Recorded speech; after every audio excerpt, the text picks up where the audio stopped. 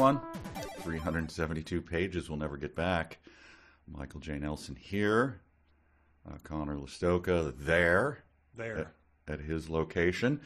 Uh, this is the podcast and sometimes video cast, in fact, right now, where we uh, we talk about bad books. And it's the cozy season. It is indeed. uh, you don't you don't you know you look moderately cozy. Yeah, I, I've got a like a sort of like sweatshirt on. Um, I, I I have a big uh, Frosty the Snowman mascot head in the basement. I'll I'll bring mm. that out next time. That's my coziest attire. Just the head. Right. Yeah. I, That's so cozy.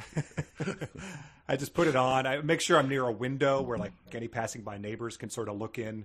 You know, their face pressed up like like Scrooge at Fezziwigs, and they see me just wearing a snowman head, nothing else from the yeah. from the neck down, um, in front of the fire with a my snifter report, my bowl of walnuts, and I think we've yeah. got to move. This is not used for property values.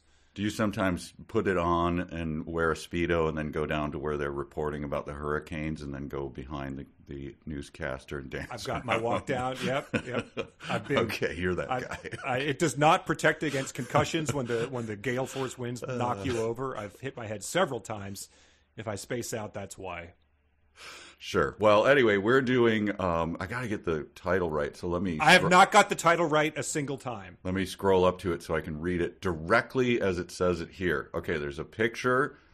Uh, it's Sussy Jordan, mm-hmm. a killer, which is dripping in yellow for some reason. The the uh, color behind it is is blood red. Mm-hmm. A killer Christmas affair, different fonts. Cozy mystery. Scroll down N- next title page: A Killer Christmas Affair, a Sunflower Farms cozy mystery, dog picture, Sussy Jordan. So there, I think I've got. I think I've covered all the bases. Our confusion or our, our lack of title permanence is understand understandable, considering she can't get it right herself. yes. Um, so that's what we're reading. It is a small book. Uh, does it even qualify as a novella? I don't know. I, brother, I mean, it's. I think this is going to be just a two-parter. So I think we get halfway through it this time. We read the first seven chapters. It was like seven thousand words. Yeah. So probably the shortest thing we've ever covered on here. This is a two-hander in the business. That's what we call it. Um, so uh, yeah, we're going to march through this. The I'll bring it up at the beginning. Maybe this is petty. The chapter things seem completely arbitrary to me. Sure. Chapters just kind of. I wrote 600 words chapter end. No, no. like things don't happen. Like the chapter doesn't go, and right at that moment, he entered the room. He was carrying a gun. Chapter, yeah. and there's nothing. It's just there's like no the dun, chapter. Dun, dun, no, it's just like okay. I, you know, when we went through the list of all the ones we were considering, and we we arrived at this one, it was sort of like you know we, we picked it. It sounded good. I was like, ah, you know, you always wonder what you're missing. You yeah, know, you always wonder yeah. what you're leaving on the table. FOMO, totally FOMO on all the other titles, but but uh, but I feel like this one is uh, it's everything you'd hope for in this genre. It's like, incredible. the uh, the similarities to things we've done before are shocking. How yeah. does this happen? You wonder if there's a cozy council that sort of meets this out, that being like, yes. "Your character count came in under, like off with their head." It's the uh, Volturi. Is that their name? The uh-huh. council. Uh-huh. yes, you come before them with your book. Yes. I intend to kill Santa, and uh, and and uh, my word count is this. Oh, we shall allow it. You will call it a killer Christmas affair. but they're cupping their enormous latte and sort of like eating the yogurt off the back of the spoon. You found a picture of that. I doubt I found it. a lot of pictures of that. You posted it. It's a, it's a, it's a genre, yeah. AI. I, what did I, I, I? tried to give it oh, to generate the thumbnails yeah. for our, uh, for like you know posting uh, stuff on on social media.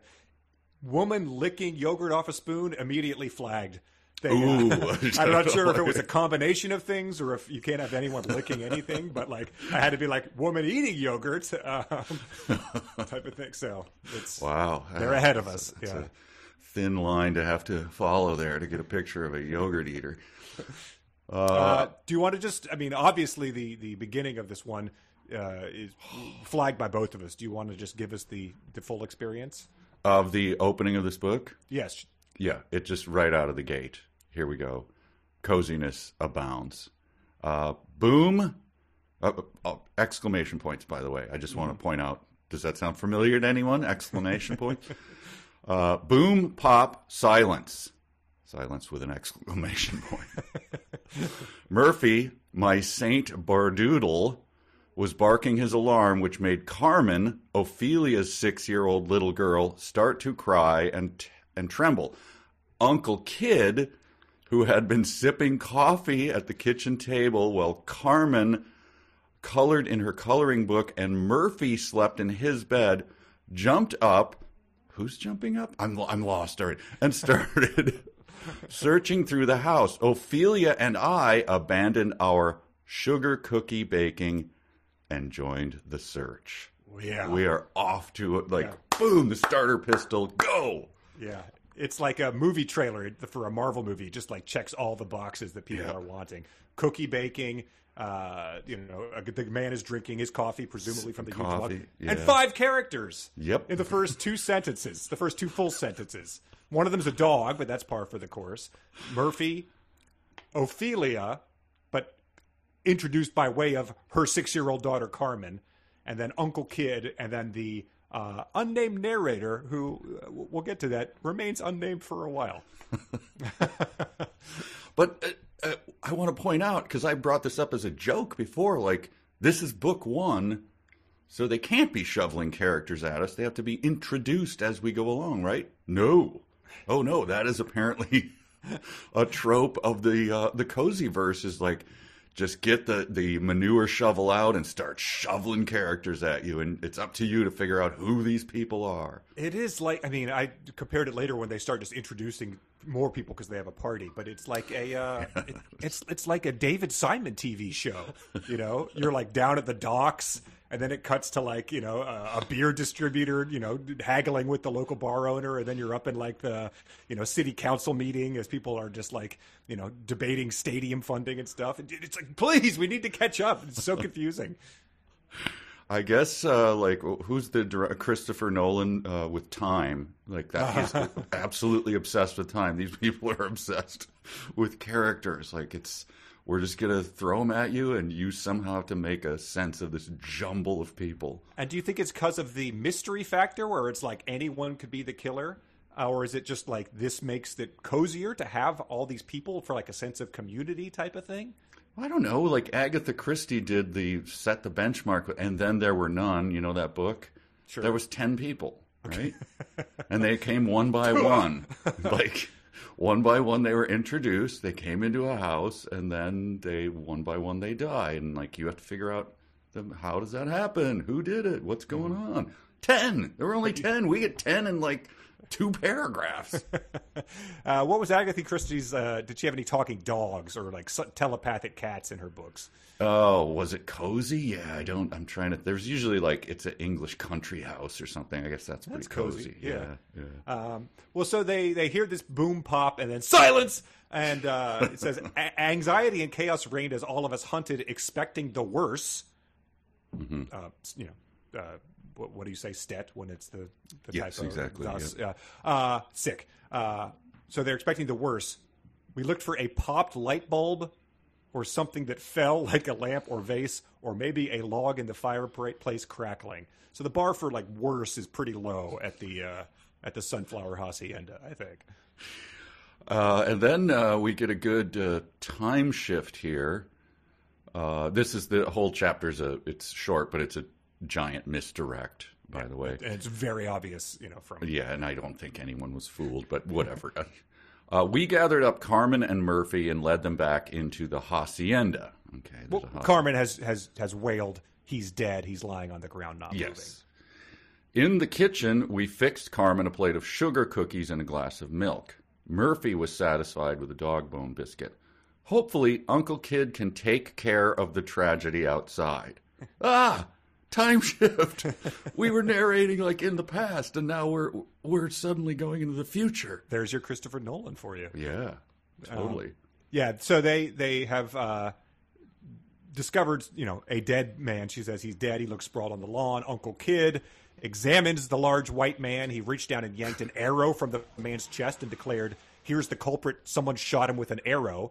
It's not the culprit. It's the it's the implement. Um, Yes. and so, you know, it's very obvious, you know, to anyone who's read something like this before that this is a misdirection. It's like the opening, the cold open type of thing. But I, part of me just hoped that this would be uh, how blasé they'd be about an actual murder that took place on their property. Like, you know, Yes. "Yeah, here's the arrow. Uh, Yeah. Let's go feed the girl some sugar cookies. She just found a dead body.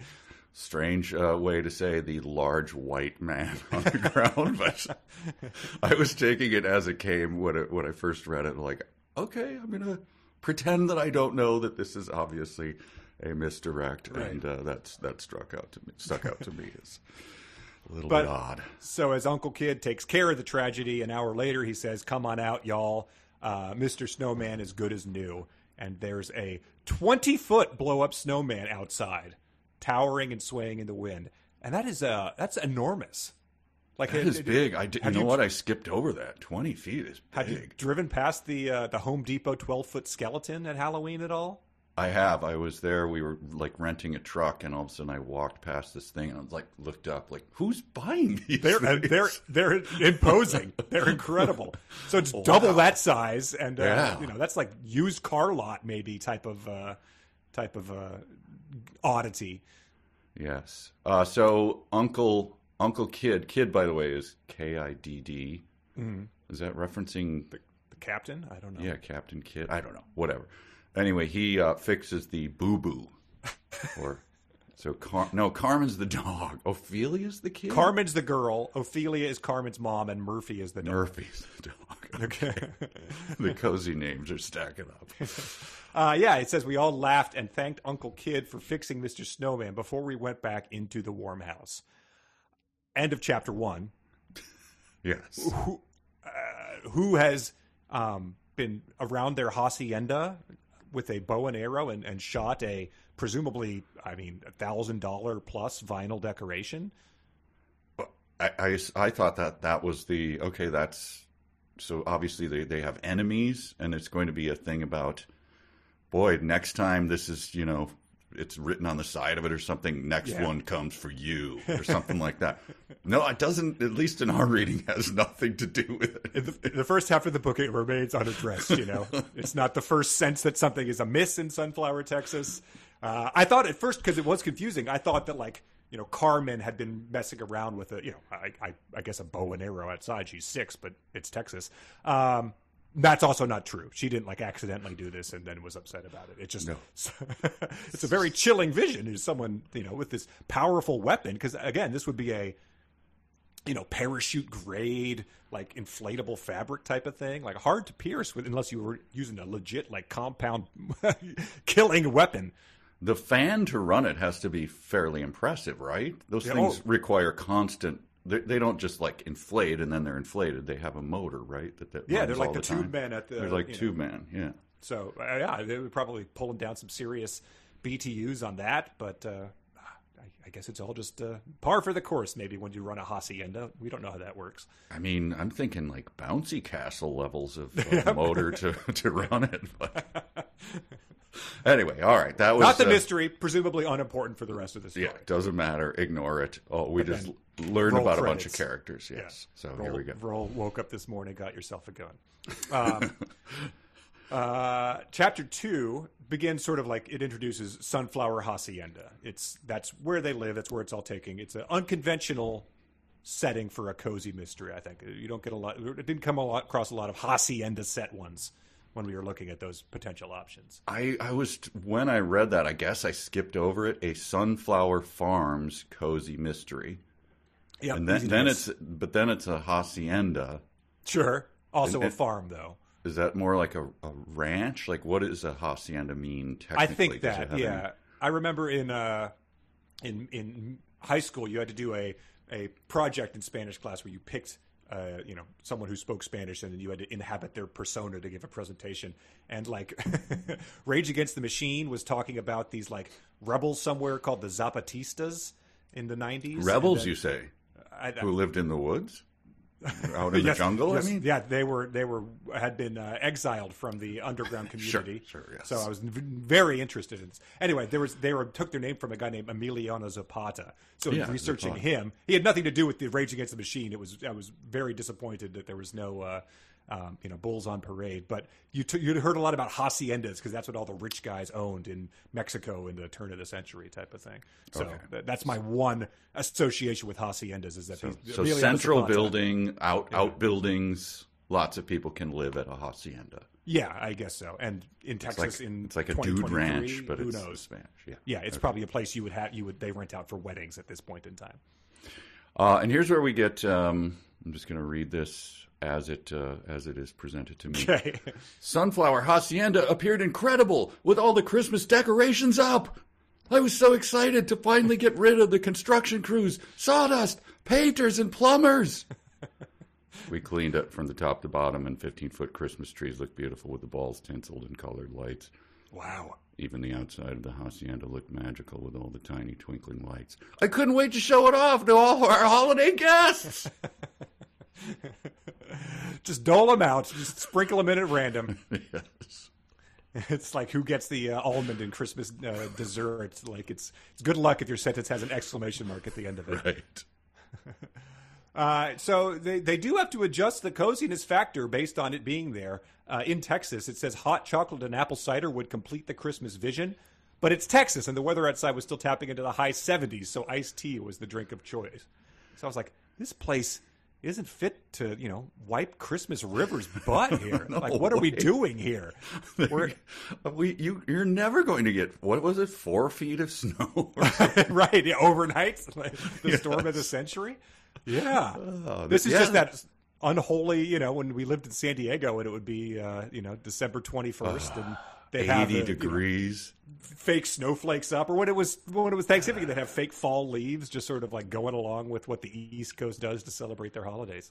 yeah my first christmas in uh, san diego it was like 85 and my kids who were you know expecting christmas were like cutting pieces of cardboard to block out the sun from our windows and stuff like this sucks dad i'm like i'm sorry man i can't do anything about it I can't get blinds. What do you expect me to do here? This is put away that hot chocolate and apple cider and grab some iced tea damn it drink some cardboard. Come on.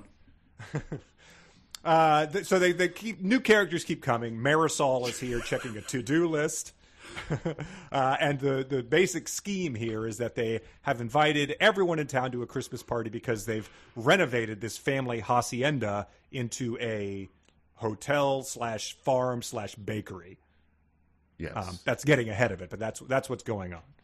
Yeah, that t- it does. It's not immediately clear because it's just you're trying to keep track of the characters. Who's this? Who's this? Wait, who? What?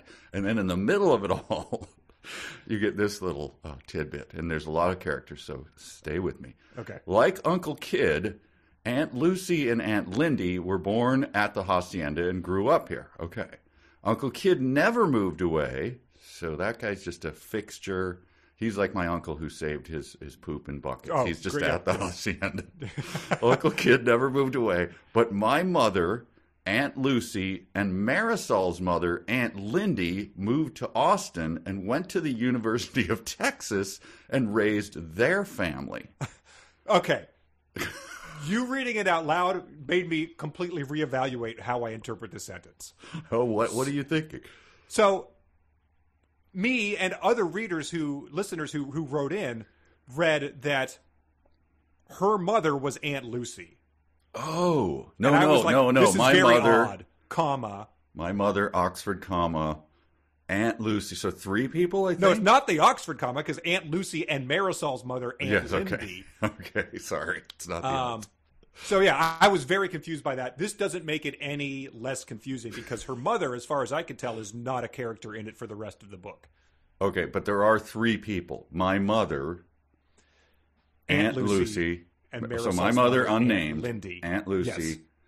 and Marisol's mother, Aunt Lindy, moved to Austin and raised their family. Yes, So the so- aunts raised a family together, Uh, well, and her mother too. and her mother. at the University of Texas. Okay, and then here we go. This is the sentence. so you're you're doing that thing. You're doing the cartoon. blah, blah, blah, blah, blah, huh? After their husbands were killed in an accident, they moved back to the hacienda to help their parents with sunflower farms. what is? Not the mystery again. Uh, more misdirection. unrelated. I mean, sort of unrelated, but some. That's the reason they're all back at the hacienda.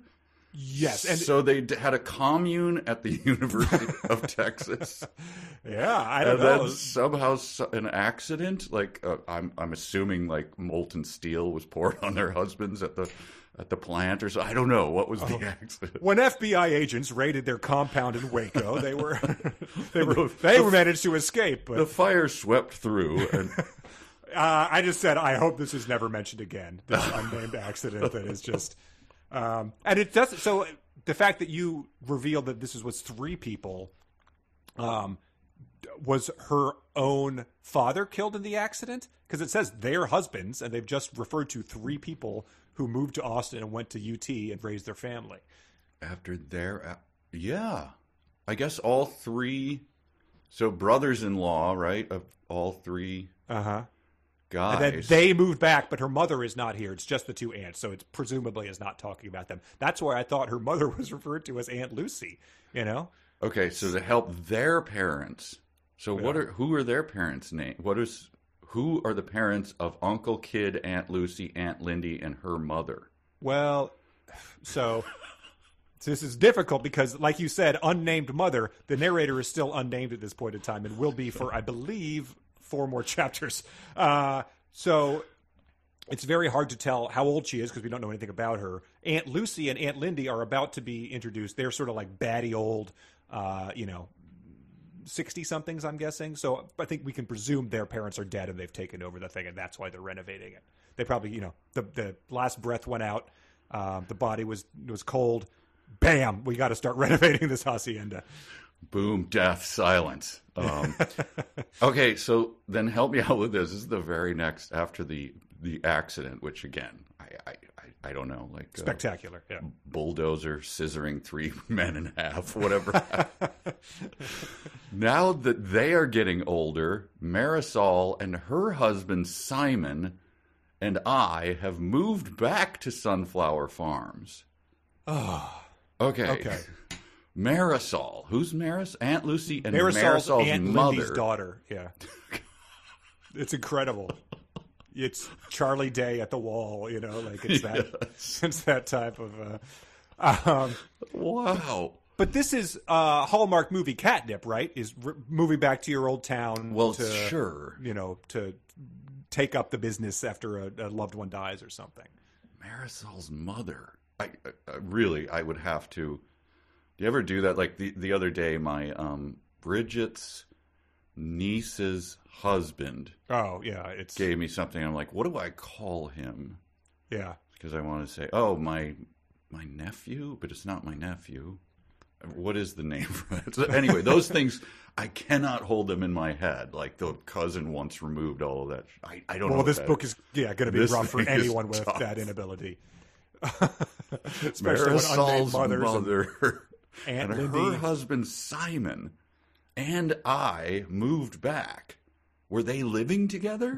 well, the communes appear to be a uh, a strong thing happening here, and we know now we, will learn about the ants uh, ants sort of like hippie proclivities. So it's yes. uh, I don't okay. know. I think it, yeah.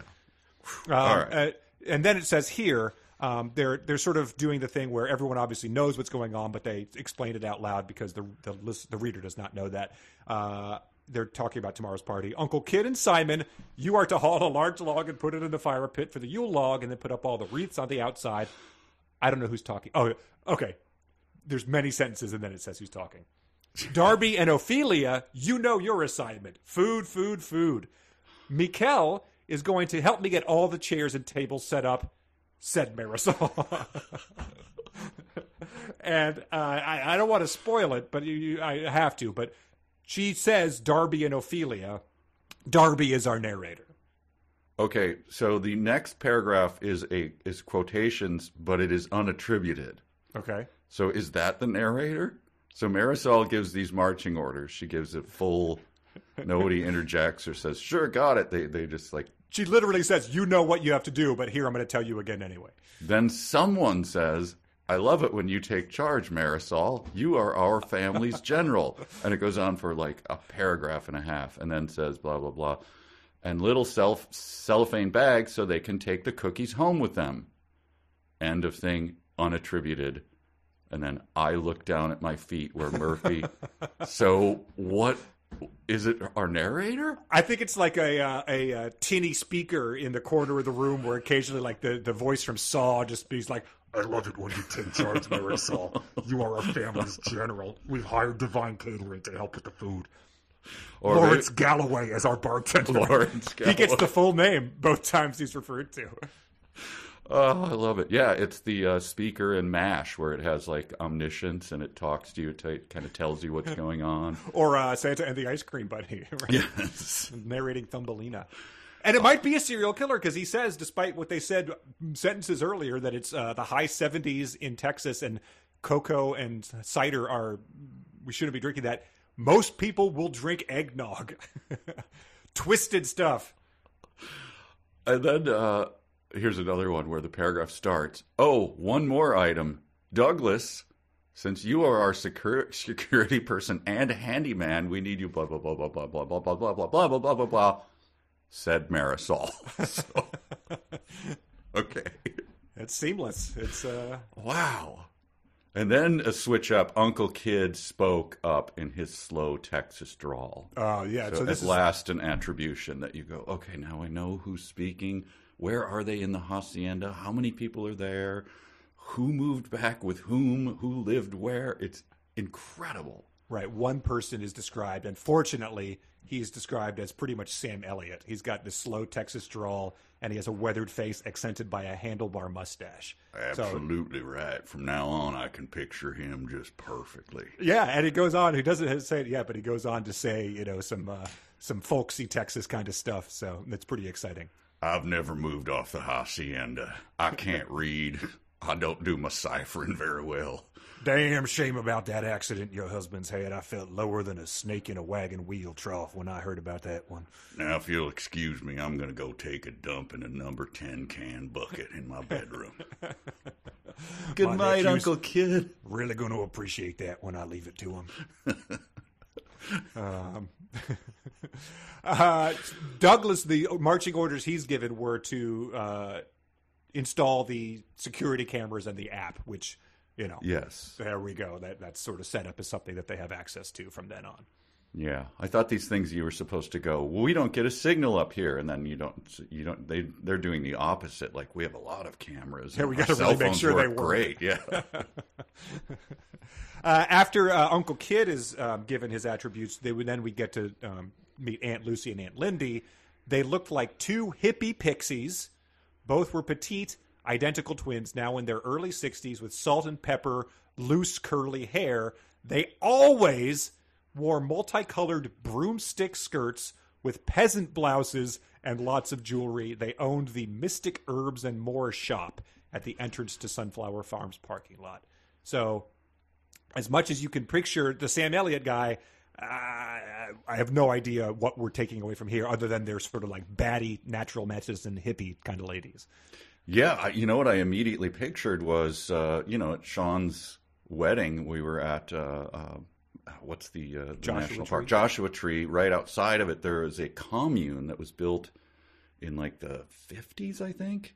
Oh yeah, And- you toured this place. We stayed at it. They're inside of. They're selling off little bits of this commune, but it has like a temple with kind of like Buddhas and stuff. And then there's a, a hippie crystal shop at the entrance to it, right by the parking lot.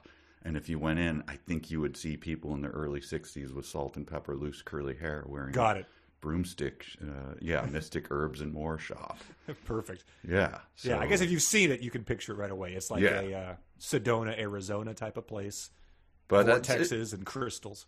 I guess if you're reading Cozy Mysteries, you know what a multicolored broomstick skirt is. But that sent me scrambling to the. and they do not look like a broom. I don't know what the association is. I guess you could wear them if you sat on a broom. Yeah, sort of witchy, but uh, I don't know. Anyway, they, they twirl well when the uh, when when drums in space starts at the at the Dead show. yes, you got there's twirlers. Uh, so then we're still dealing with. You know, I'm still reeling from the accident that killed all three of their husbands, and the the hippie hippie chicks are are selling herbs and crystals. Uh, but after Miquel, Ophelia, and Carmen left, only Marisol, Simon, and I remained around the table. So they were around the table. I didn't know that. That's yeah, that's important. That's where they were doing their planning. It's their war room. Uh, and that's where she introduces that. Sh um, I think Marisol says this as well. Uh, oh no, it's Simon. It's it's another long paragraph where you don't know who's talking till the very end. Uh, I believe we would always have regretted not trying if we had not moved, but I'm still worried we can fail. I just know the event center and your bakery, crust and jam, oh, God. are your dreams. So our our our narrator, unnamed at this point, per cozy law, also owns a bakery called Crust and Jam. And the uh, the the ants in the multicolored broomstick skirts are going uh, herbs and more, crust and jam. Bit of a rip off, I think, but uh, we'll allow it because we're hippies. It's all Yeah. cool, man. And you're going to be changing that name pretty soon, I think, because it is not a good name. It's not No. necessarily super appealing. Like, No, no, it's like the uh, there's ads for there's the sofas that are like these units you can you can put together and you can take the fabric up. They're called love sacks. ugh. And they said since the you know thirty years, Love Sack has been the leader. like, crust and jam and Love Sack together at last. There's a faded sign on the side of the road, free love sack. Gross. anyway, Uh, and then they introduced the one other like sort of hallmark law is that it says as I'm hoping as Sunflower Farms begins to raise fresh fruit, vegetables and fruit, we'll be able to make an impact on the hunger situation of families living in poverty in Central Texas. Responded Simon. Simon, they all- the professor, right? Simon, He's the a- former professor. I oh, think. sorry, former. He moved back to. Yeah, he gave up his lucrative tenure job to come here and uh, and landlord for the hippie crystal shop. but they all have hearts of gold, so that's important too. Yep. Uh, oh yeah, it says you gave up a teaching career as a professor at the university, but your hopes and goals are even greater than ours. Uh, that's Mar- that's Marisol. Okay, yeah, they're still at the table. Yeah. If you if you're keeping track, there's a big table. She sent, what is his name? Doug, the security guy, off. Doug, the security guy to install the cameras. Uncle Kidd was way past his bedtime, so he got up and left. Yeah, he's I assume he's- his last cig outside. Yeah, he spit some chaw on the table as he left or something. All right, I'm gonna see you cats and, and dudes later. Yeah, I'll be up with the chickens.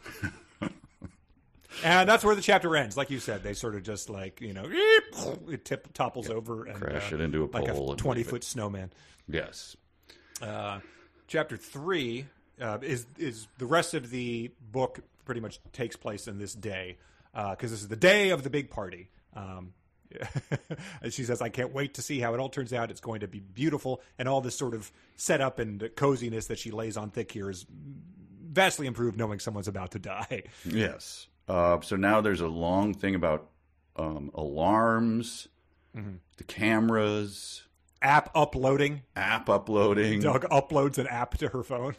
so I was like, eh, I think Sussy is definitely still paying for her AOL uh, email address. If she thinks you need to have someone else upload an app to your phone. Uh, the cameras are filming all the time, so they're, they're using film in these cameras instead good. of so instead of streaming, they're just filming. Whatever. yeah. Um, but then we get so then the the party people come in. I don't know. I have something a little deeper. Do you have anything before that? The Uh, party starts. Well, she just, he says you should turn on the app notifications, and it says, "Oh, I have a second alarm too." Murphy gets up and growls or barks if anyone's snooping around outside. When we had all the construction people working on the renovation, he was constantly growling and barking if it was early in the morning or late at night. So I was like, "Oh, the Saint Bernoodle is is one of those kind of dogs, you know." He's all the uh, all the help is sort of sets off his alarms. He sees the uh, star forward on the high school basketball team and starts barking at him. Hmm. Yeah. okay. Okay, Murphy, settle down. Uh, but this is where we get um, and see if you see if this brought anyone to mind.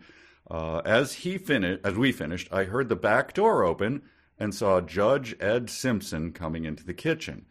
Ed is the retired county judge. He's 82 years old, but he says he's not dead yet. Age is being mentioned. Does that remind you of anyone? Very specifically 82. Yep. 82. Perfect. And he says, how often does he say that? Because that has to be like, there was this guy at my uh, at my church. He's since passed away, but he I'd be like, "Hey, how's it going?" And he was one of those guys that talked out of the side of his mouth conspiratorially. Wow. And he was like, "Well, I'm uh, I'm upright and breathing. That beats the alternative." And it'd be like every time. Go, Good lord. well, have a have a good day. He's he's a sweet guy, but it was just like that was his thing. This is the judge comes in. Hey, judge, how are you? I'm 82, but I'm not dead yet. Like, oh, okay, all right. I just need you to try on the Santa suit, okay? You want to uh, you want to uh, come on over and catch the uh, Mavericks game? Well, I'm not dead yet. You can say yes. You, You just, say yes. You don't need to. But as he says, it says as he says, he's not dead yet. Yes. So as he's always saying this, he's also referring to himself in the third person. Yeah. He's not- yeah. He says it. Yeah. You want to go get a beer, Judge? He's not dead yet. Oh God. Who's not? He. Oh, I was ref- I was referring to me. Should I? Is there a different way to phrase that? I am starting to lose it. I mean, I, I'm not dead yet, I'm my, 82. my facilities are not there. I, I really ought to get off the bench. I have I have sent some some very innocent people to prison. Um, this is something I have to remember to say when I enter a room. I'm fine and looking forward to being your Santa for the party tonight. No matter how rambunctious the children are tonight, they'll be no worse than this business with Paul Turner. just any time I enter a room and just have people go, What? What are you talking about? Are you are you clumsily trying to introduce characters, Mike? That's Who's who? Who's Paul Turner? Well, I'm funny you glad asked. you asked. It's like an Uber driver bringing up things, and that's when I worked with Johnny near Nashville. Oh God. Uh, who's no? I'm not. All right. Who's Johnny? Johnny Cash. We called it. Ah. One star. My finger is hovering on the one star. Paul Turner. Paul Turner is the second guy to I think get referred to in the uh, um, with both names after the Lawrence Galloway, the bartender, who was already mentioned Lawrence twice Galloway. with his full I name. love it. Paul Turner is essentially the Brad Wesley of Roadhouse of this town. Yeah, he brought the uh, Photoshop or the photo Yeah. mat here. Yeah.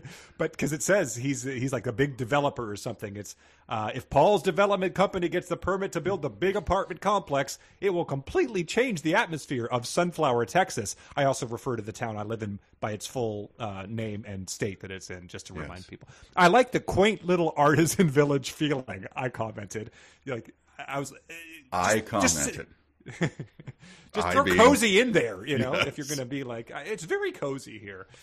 But then um, unattributed two paragraphs of quotations about Paul Turner, always his full name, please.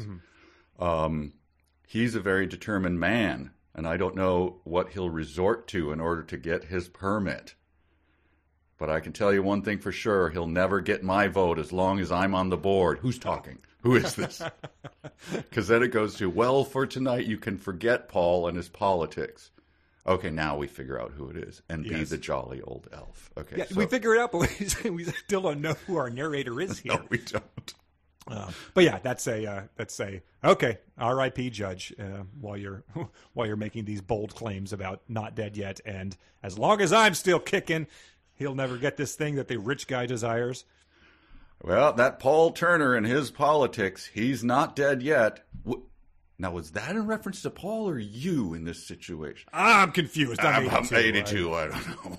Where's my Where's my keys? I- um, and so uh, people start to arrive. I think. Uh, do you have anything before the catering company arrives? Uh, no, I don't. I don't. Uh, but, but anyway, Paul is going to be dressing as Santa and like reading to the kids. Um, so everyone's very excited about that. But then the catering company, Divine Catering, arrives, Yeah. whose owner is Phyllis Newton, shows up. And this this is just some sample dialogue. I read this to Lauren while we were uh, having coffee around the table this morning. I know you want this party to be elegant, so we thought glass cups would create that mood better than red Dixie cups. However, we've included lots of juice boxes for the children since the eggnog will be spiked. Yes, and I see you have glass plates for the snacks too, I, I said. Oh, yes, and we have crates that we'll leave in the kitchen so that our catering staff pick up dirty dishes. they'll be able to bring them to the kitchen and put them in the crates. It was it reminded me of the women talking and setting up a room. I was just going to say it has to be setting up a room. I hadn't noticed Yes. the pegboard. Yeah. I, see like- that there's a craft station over there. They yes and each other in the mildest ways. Like, yes, and the door will swing open here and it won't hit the chairs that we have put against the wall. That is correct. We have also. Uh, I guess I did. I have one thing uh, that was before that because uh, the judge. Um, Yes, he- Judge Ed. he isn't dead yet. Uh, kind of a slam on uh, certain children here. The chair was large enough to hold Santa and two or maybe three children. Judge Ed said it was perfect and he could imagine lots of parents taking photos. So maybe just go with two children for Sure. you uh, there, Johnny. Um, and uh, stay away from that juice box while you're. Uh, yeah, Lawrence Galloway's son Billy is always uh, looking at one of those huge lollipops and waddling around in his sailor suit. So two or three children. That's a that's a good measurement of chair size. it's very it's Elias Elias Ian in terms of being like he was around 21 feet tall. Uh, which brings me to my first Sonic challenge for you. Oh boy, As he left, this is the judge, I believe. He's not dead yet. As he left, he turned back and shouted, "Ho ho ho!" and chuckled as he went out the door. Okay. So you may need to back off. I don't know. I will. Yep. Okay. All right, I've, I've, I'm leaving. I'm 82. And, Yes, uh, you're 82. turn back. Ho ho ho! God, that judge is a weird dude. What the hell was that? Very unappealing. He's really slipping. We've he, he he can't preside over that drunk driving tile next week. That is not going to go well. Term limits, term limits, man. This guy cannot be a judge. Uh, and then uh, Phyllis, uh, what was that? Phyllis Newton. Then uh, her crew starts hauling stuff in. She introduces her to the three servers: Bailey, Jerry, and Mandy. So that's it's getting Ellisian uh, Yes. with the amount of characters. And uh, then she says. Uh, is there a bathroom where they'll be able to change into their wait clothes before the party? Sure, let me show you. The nearest bathrooms are down this, setting up a room, down this hall from the gathering room. I was just showing Santa the bedroom across from the bathrooms. Well, he'll be changing into his Santa suit later this evening. End of chapter. end of dramatic end. Move along. That's where I have the the absolute. She does not know how like chapters work or what divisions are or what they don't signify anything. But uh, here, I just want to um, I just want to tease you with this one. Uh, I laughed and said, "Except for the cookie decorating table." Phyllis smiled and said, "I'm sorry, I can't help you with that. I know, I'm teasing." what? I know it, it really hurt. Unnamed narrator. It's you shouldn't tease, especially at the holidays. I've told you I have a friend who does that's his form of teasing is just like just to lie to people and just misdirect them. Like I'll go to lunch with him and he'll say like and he knows that if he's listening to this he won't care because I've told him you can't do this. He'll be like, "Hey, do you have um I noticed you have walnuts. Do you have the walnut shells?" to a waitress or something and be like, "I'd just like to eat those."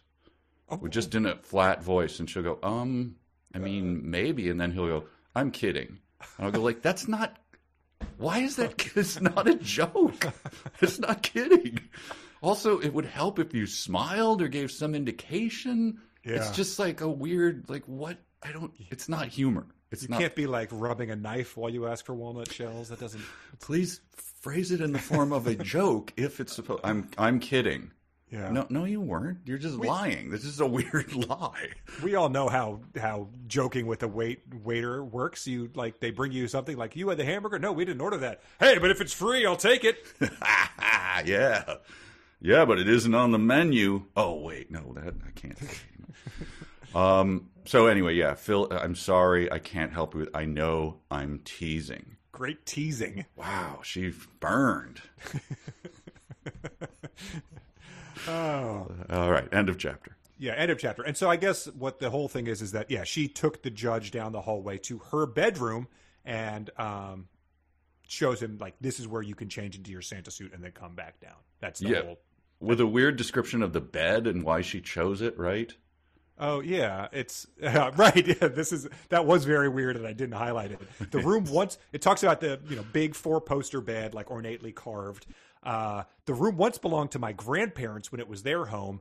I sleep in the room because it's convenient for me to start cooking and baking early in the morning for the crust and jam shop. So how big is this hacienda in terms of like? There's a spot that's more convenient. Like, is there like a part of it that's connected by light rail that would be like really annoying to get to? Like, I guess so. And then I just like that she leaves. So that's her room. She leaves Judge Ed alone there. He immediately like opens all the drawers and finds her under things. Well, well, like, well, yeah. "Hey, Yeah. Payday. court is in session, I'm banging my gavel against this thing. and I don't object to any of this. All right. Yes, that, cozy. Uh, we let's do. Oh hell, let's do real or fanfic. Why not? Real,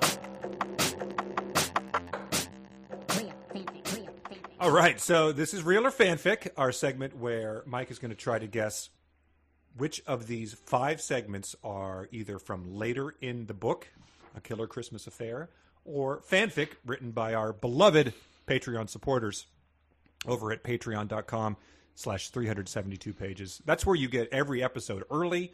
You get, uh, you've been posting stories, crazy stories from your past, verified by someone who was there lately.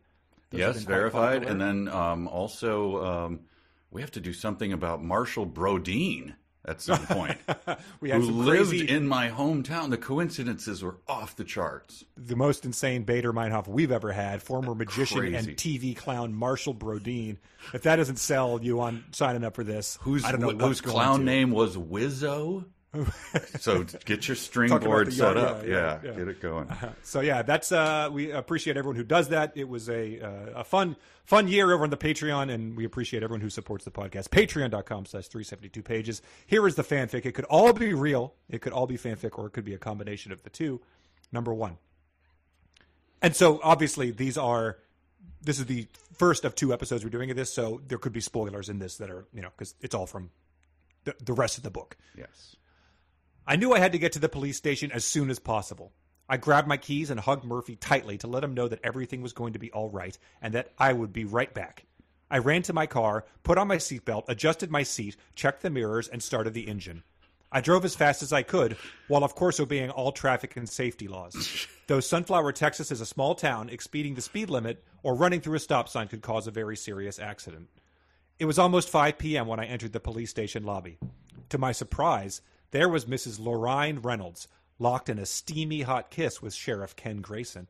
Her fingers were running through his thick curly black hair, while his hands were running delicately across the back of Lorraine's fur coat. As the door closed with a thud behind me, the sheriff shot me a glance from the corner of his eye. He immediately stepped back, releasing his hold of Lorraine. This is Hot Sheriff. Yes, the uh, we've not met either of these characters yet, but they are they are coming. Believe he has a delicious smile coming up. Um, I don't know. The the weird thing about buckling the thing I, makes me think it's fanfic. okay. Um, number two. Who has an answering machine these days? I guess 80 year old men who don't change their ways very often. Uncle Kidd was right behind me as I punched the button on the answering machine to listen to the messages. There were two messages. The first Hey Ed, hope you remember you're supposed to be at the bookstore at 10 o'clock on Sunday morning, ready to be Santa. Oh, and also, I've got your paycheck for your Santa time last week. Obviously, someone left this message before Ed's death. That's it. That's it. Um, so wait, Uncle Kidd is like solving the crime. She's going to his house. I He's mean, you the, know, the he- two of them. He's the And enforcer, the, maybe. And the dog, the and well, shit. What I do is listen to his answering machine. Who has an answer? I don't know. I'll say real. Whatever. Okay. Yeah, I don't think Murphy is uh, telepathic or has any real powers here. I think he's just along for the uh, for the pet. He's cute. I looked them up, by the way. They're uh, unlike Saint Bernards. They're hypoallergenic and they don't drool. Oh wow! And the site that I was on spelled drool D R U E L. And since they were selling them for two thousand wow. dollars, I did want to talk to them about that. Wow. All right, number three. The conversation turned to rehashing the good stuff about the party and all the plans we have for the start of the year. Marisol said, We're fully booked for our first event, the scrapbooking retreat. Our guest speaker will be a history professor from Southwestern University to talk about the history of scrapbooking. And Quinn Rossi has plans for a full weekend of scrapbooking fun. Aunt Lucy said, That sounds like fun. I bet if we brought some CBD gummies, it would spark up the event. We all laughed and suggested that maybe they should keep the gummies at their shop. Oh, she twirled around and her broomstick skirt. Um, I don't know. That's fanfic. It's a bridge too far. Gummies. Number four. I asked, Why were you wearing the fur coat to the party? This is Texas, not the North Pole. Lorraine's bottom lip quivered. To hide the drugs that Judge Ed was selling me. I knew that was strange. It all made sense now. She burst into tears. I didn't mean to kill him. He was going to tell my husband about the drugs if I didn't pay him more money. He tried to grab my coat, so I pushed him back. He slipped and hit his head. And that's when you staged the crime scene to make it look like he slipped while he was getting dressed? Simon questioned. Lorraine nodded, her red hair bobbing. Wow. So okay. So there is a Lorraine. See, this is where it gets where it gets weird. Um, Judge was selling drugs to Lorraine, who was making out with the hot sheriff with the delicious smile and the curly hair. But that was a misdirect because she kissed him, I bet. But anyway, I don't know. I'm going to say fanfic. Okay. And here's the last one. We drove into town to go to the toy store. Carmen loves her dolls, and we wanted to get her a special doll with some doll clothes. As we walked down the street, we saw Tommy Lampkin's red truck going down the street. Both of us stopped and couldn't believe our eyes. We burst out laughing so hard that we were holding our sides and cackling. The spontaneous response was not appropriate for ladies, but could not be helped. In the front seat sat two deer. Not real deer, but the drivers had on full 3D deer heads with antlers and brown t shirts. They looked like real deer driving the truck. Your I mean, laughter is appropriate. I, Just so I was cackling. Sorry about that. That's so odd. I don't know. See, this is where it gets tough. Like someone points that out because of how weird it is. Then if I say it's real, then everyone's like, "You were fooled by that stupid crap." I'm going to say it's real. Wow. All right. Well, so yeah, this is a short book, so you have a chance to have your, your potentially best or worst like performance hinging on like two questions. probably. Exactly. Here we go. Um, first one was driving, but making sure to obey the speed limit, and then the sheriff and a steamy kiss with uh, Lorraine. You said fanfic for that, and that was fanfic written by Bart. Okay. Bart. Off to a good start. I'm sure he's never heard that before. Interesting. I'm sure never. Number two, uh, this is the answering machine, Uncle Kidd, uh, hearing a message about the bookstore uh, and Santa. You said real for that, and that was real, submitted by Harrison. Uh, two for two. Number three was the CBD gummies, spicing up the weekend of scrapbooking fun. You said fanfic for that. That is real. God. From later in the book. Come on. Uh, submitted by John. That's pretty delightful. Shoot. Well, this is where I go off the rails. I'm going to go two for five, aren't I? Uh, CBD gummies spicing it up by making everyone sit around and being like, "Do you feel anything?" No, I think these are. Where did you get these? These are. Should I eat the other half? Uh, two for three. Number four was uh, why are you wearing your fur coat to the party? She was buying drugs from the sheriff. You said fanfic for that.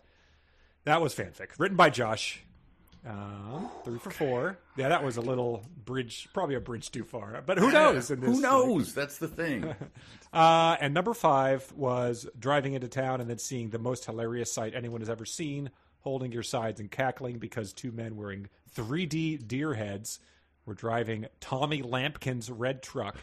You, you said real for that. Uh, that was real. Submitted by Craig. So four for five. That's uh, 80%, for one book. That's a B. never happened before. That's a solid B. wow. Okay, I'm done. That's you know, it's such a relief. Yeah, I don't that's have like to do it next time. winning one of those one game uh, MLB wildcard playoffs or something. well done. Thanks to everyone who submitted. Yeah, thank you. It must be fun to write the cozy stuff. That was good stuff. Let's move on to chapter four. Chapter four. Boy, oh boy. Let's see. When is my first note on chapter four? Because it's very funny. Mine is uh, people start to arrive at exactly six o'clock, and Yes. she, she, my, I joked about it in the previous chapter, but she says. Uh, the warm, inviting aroma of cinnamon spice and evergreens filled the air, while the pianist played all the classic Christmas carols, uh, classic, 80s Classic Christmas 80s carols. Christmas carols. On the baby grand piano, several people gathered around to sing jingle bells, creating a festive and cozy atmosphere. So, I'm like, just say it right there. Like, you can't dispute it's cozy if someone says it is.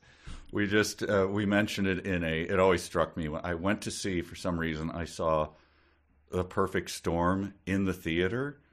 Maybe because it was it's that German direct. He did Das Boot, so I'm like I don't know. Maybe I saw it in the theater too. I remember. Yeah, so I went to the theater, and in the middle of the movie, well, like in the first end of the first act, one of the characters, he's a famous actor. He goes like, "There's a storm coming from the east coast, and then there are winds pushing it down from the north, and then coming up from the south, the the rain, and this could be." The perfect storm. it's like, yes, say the title of your movie in the movie, like to set up the whole thing. That's what you have to do. And this is it creating a festive and cozy atmosphere. Thank you. It's the- Someone has to just say it. Leonardo DiCaprio pointing at the TV when they uh, when a cozy book says it's cozy. Uh, so then she describes the the people and what they're wearing, and this is my favorite thing.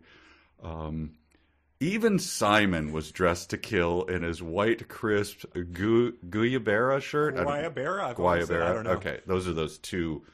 I think that kid wears them in uh, Modern Family. The little or the uh, the, the Santa in Santa's uh, summer home wears that. Type of yes, it's an old guy kind of shirt. yeah, The guy who gives Jerry the pen in Seinfeld was wearing one of those. yes, but even Simon. I like. I, Yeah, like, well, if I know Simon, he's going to Yeah. come down in his cut off jeans and no shirt. Oh, he's wearing his Christmas. Wow, even Simon? even Simon. Simon's the one character who we knew had a respectable job. He was Yes. a professor at a He wasn't running an herb shop and eating Yeah. CBD gummies. This guy was big like, Johnson T-shirts and you know going to the monster truck rally. Yeah. even Simon. So Even Simon. The character's like, hey, hey, what? Even me? What do you mean? I'm the only one who dresses up ever around this hacienda. Looks like you clean up well, Longshanks. Hey, Simon, I see you're wearing your Christmas Guayabera shirt. And then, I mean, this is all unnecessary and not super uh, funny, but I'm just going to read to you some of the uh, just explosion of description she throws at the reader now of the hacienda. sure. Terrazzo tiled floors led into the entrance with three sets of heavy windows, double window paned double doors opening to the interior of the hacienda. On our left was the gathering room, glistening with twinkling lights from the huge natural deer horn chandelier and smaller wall sconces. The dark oak floors were cranberry and gold carpets carefully placed in front of large leather couches facing the fireplace and Christmas tree invited our guests to come and enjoy. There was a very large wooden table, blah, blah, blah. It- it- it's a lengthy, lengthy paragraph. Terrazzo tile floors are mentioned multiple times. It's, uh, I guess that's supposed to make it cozy and put you in there, but it just comes as a, uh, you know, sort of like shouting through a megaphone at the reader. It's one of those things where it's like, do I really have to do the heavy lifting here of like my mental image? That's why I think like less is more when you just go. It was a, a hacienda, a regular kind of hacienda Sure. entrance. We it all, was spacious and you know like okay i got i think i got it i don't Yeah. you don't need to that's, that's always my complaint with tolkien. Then they came over the top of the hill. The uh the, the cliff fell off with trees on the top headed to a little flat area where the, it's like stop stop stop. You're just in the woods somewhere. I, I don't need to i can't picture this. Sure. Uh, this is what this is like blue tile down the hall. Sunflowers accented the terracotta walls, but there were sconces. There was a large wooden table. There's I've got to what? Google what terrazzo tile is. Like, Stop this. Just let me set my own scene. Stop. so it's either uh, you say variety of 80s dance moves and we rake you over the coals for not being specific about that, or you give us too much information and we want you to just say it was a Hacienda. Yes. You got to hit the sweet spot for us, you authors out there. well, there's a there's a difference between setting a Yes, scene with right. minimal words and saying something really stupid like variety of Right, 80s yeah. dance moves. Uh, the robot, the Roger Rabbit, the Running Man. He did all the 80s dance moves. Moving on. Okay. Uh, so people start to show up, and they, you know, everyone else is there. Even Miquel and Douglas. Uh, Paul Turner shows up. The uh, Brad Turner. Wesley, even Paul Turner. It says uh, that's who she she greets them all, and then uh, they introduce more people, and it was hilarious because all the people she introduced sounds like they could have their own cozy spin-off series. A collection of people from the community. Charles Deever, who owns the wood the woodworking shop, Dan Stevens and his wife, who owned the stained glass shop, Dr. Garrett and Melva Brooks, who owned the bookstore, arrived together. So they're all, you know, they're all probably solving their own mysteries with their own telepathic cat to some degree here. Stained glass shop, woodworking shop, and bookstore. It's like uh, it's it's busy town, or uh, yeah. or you see them all doing their little thing. If you look, Lowly over. Worm rolled up in his Yes. in his Apple car. Uh, this was a surprise to me. I don't know if this was mentioned. I didn't look it up. Everyone's natural tendency is to pet Murphy, and his therapy dog training is perfect for this kind of setting. Murphy's a therapy dog? To Yeah. to her? Is it because of the trauma of her husband being scissored in half by a, a backhoe? I'm assuming that's what the accident was. That could be, yeah. I mean, I didn't think about that. I thought it was just sort of something she did as a, you know, another heart of gold moment is that she goes to Oh, you know, the saving the VFW and sits Yeah. down type of thing. Yeah, she. But yeah, that's her. like lengthy, uh, expensive training for a dog. Yeah. Um, so is he wearing the little coat, right? Don't you have to have the little thing Yeah, to signify? Like, please don't pet me. I'm a therapy, therapy dog. dogs usually, yeah, say, please don't pet me. okay. Well, maybe Uh, the therapy dog training will be his version of um, psychic powers that he uses to pinpoint a killer later in the book. Sure, sure. Okay, so I didn't realize when you were reading the real or fanfic, Lorraine Yes. is is a character. I forgot about that. And Pastor Mark Reed, Doctor So, Garrett, yeah. Melva Brooks, Lorraine, Pastor Mark Reed, Paul Turner, Charles Deever, Dan Stevens, his wife. My God. Oh my God. Well, let's highlight these two because they are important. Lorraine Reynolds is a woman that she's not familiar with. She has bright red hair, and she said her husband was out of town, and uh, she's wearing a big fur coat, which she explicitly says seems odd for the Texas weather. Yeah, it does. Um, and then Pastor Mark Reed, whom Simon was acquainted with, came in next. And then he and Simon go out and uh, start talking, you know, football outside. But that's his defining characteristic is that he's acquainted with Simon.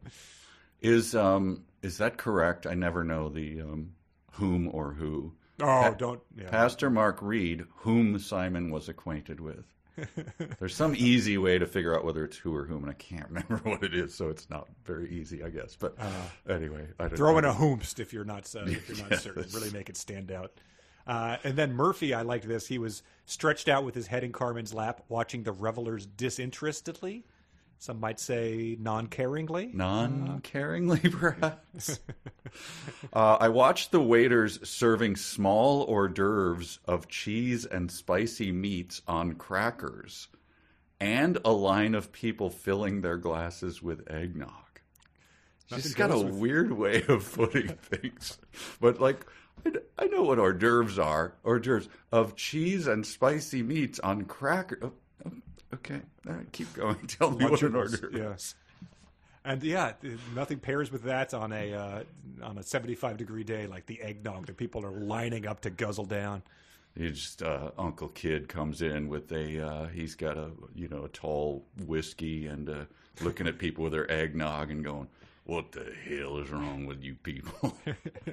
I, want a wouldn't piss on you if you were on fire." Have you ever made eggnog before from scratch?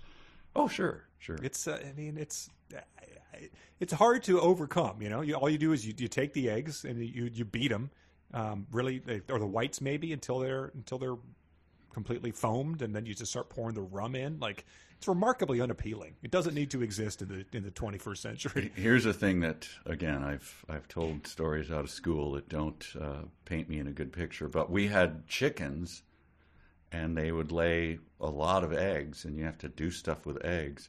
So we often would just go like, I don't know, make some egg, some non-alcoholic eggnog. This is when I was like in junior high and high school. So there would always be a giant pitcher of eggnog In the our- summer? in our refrigerator.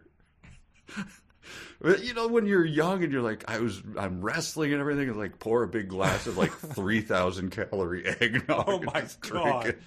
Wow. I mean, not, in, probably not in the summer. Well, I don't think we did it in the summer. Sure. Yeah, That's but crazy anyway, stuff. But there was yeah. you'd open the refrigerator and be like, "What is in that pitch? Oh, it's eggnog." my You gotta throw that away. That's, my brother four months old. that. Yeah. So. Well, I mean, that's some some people are like, you got to get it while you can. It's only here for between Thanksgiving and Christmas. But uh, Uh, unless my, you're making your own. my son loves eggnog. What can I say? our friend uh, Doug uh, would would he was the first person I saw who made it, and he uh, he, he kept it aged within like a beer growler. You know, with the booze. in it. Aged But he'd be like, eggnog? "This one's from last Christmas." Like, it's like they say it gets better, and it's like, "What are we doing? Like, we, we have we have we have beer. We could drink that beer. Like, why would we? Why would we drink the raw egg mixture that's been sitting around for a year?" Oh, so it's like the uh, Bailey's, right? Because Bailey's is cream, Huh. but they say that preserves the. Uh, it preserves itself, so doesn't harm you. But that eggnog seems All right, eggnog challenge for the listeners. Make some eggnog today. Drink it again on age it, uh, yeah. December thirteenth next year, and report back to us. And then you know we lose half our subscribers. see our numbers drop We are off. not Whoops, we should responsible, not have advised you Do to not, yeah. age eggnog. Uh, she starts laying it on really thick in terms of like how cozy it all is, how happy everyone is. As I looked around the room, I saw small groups of people talking and laughing, and I couldn't help but feel hopeful. Maybe Sunflower Farms had a bright future ahead. It doesn't immediately cut to the death then, but like it, you know, it, she she sees the kids uh, decorating cookies and laughing. What a great way to get into the Christmas spirit! So get to the corpse. Boy, oh boy, I sure am happy and things sure are going well. I left the cookie decorating merriment to go check on the caterers. Just then, Janet Crosby, hands in the air. So again, the uh, Wah! Yeah, Tube Man. tube man came running from the hallway. Do you remember where that was and what kind of tiles were in the hallway? Oh my God! Rushed into the bad. gathering room and screamed, I Santa is dead! Was she still waving her hands as she said that? Like, uh, Yes. oh, Janet Crosby did that. uh, listener, I did not notice it because there's so many characters, but listener Jeffrey pointed out that this is the first and only mention of Janet Crosby in the book. The full name. Nothing I like that. Yeah, the full delivery name. key information. We don't know what uh, what she works at, whether it's uh, she makes runs an ornament shop. Or you know makes has a shop that just sells candy canes downtown type of thing, but that's, maybe she gets a spin off in the next one. Oh, that was so good. It's I, I like that we've you know sort of tampered in God's domain here by sending all these people to buy this book from this relatively new author. Uh, we've probably ensured that this series is now uh, you know twenty seven volumes by Christmas time next year. Uh, so here's the crime scene in this. I don't know. There's something in this that made me laugh. I'm sorry. when I looked in, there was Judge Ed with his Santa pants on. Thank you for pointing out that his pants were on. I appreciate that. And his sock feet. I I'm thinking like you know compression old guy you know black Sure. socks like I'm not dead yet. Oh, yes, you are. At the end of my bed with a puddle of blood forming behind his head. I'm no doctor or crime detective, but I know from what I've seen on TV crime shows that you shouldn't disturb the crime scene. So I said in my most authoritative voice, Don't touch anything! Everyone out! There's just a lot to unpack there. Yeah, I mean, I- so his only his Santa pants are on. So I'm just imagining his, you know, yellowed wife beater, potentially some sort of like back brace, gut poking out through it, like a bad Santa kind of thing, with the pool of blood forming behind his head. I, I found it quite funny as well. And then this is oh. funny too, because this is a This is the type of thing that only happens in TV shows. You can tell exactly what she's seen and just replicating on the page. Dr. Garrett came through the door of the bedroom and kneeled beside me. He touched Judge Ed's neck for a pulse and then shook his head. So that's he, he does the and then looks up. I'm sorry. it's like the guys who you know do the uh, like they, they find the uh, material at the crime scene and they, they dab their fingers in it and just like rub it between their fingers to try to figure out what it is. Like no one has ever done this. Like They slice clearly- open the bag and lick the edge of the knife, and then they go, "Yeah, pure. It's pure. it's pure." uh, yeah, I, th- I think the doctor might have something to say, like, you know, are you trying to like establish, you know, whether he's lucid, like, you know, talk to me, Ed, like, yes, uh, but uh, nope, no, just, just, purses his lips and shakes his head and gets up and leaves. And then this happens again. What is the deal with this? Another book goes second person, okay. which is very like again, second person is extremely rare and hard to pull off and shouldn't be attempted.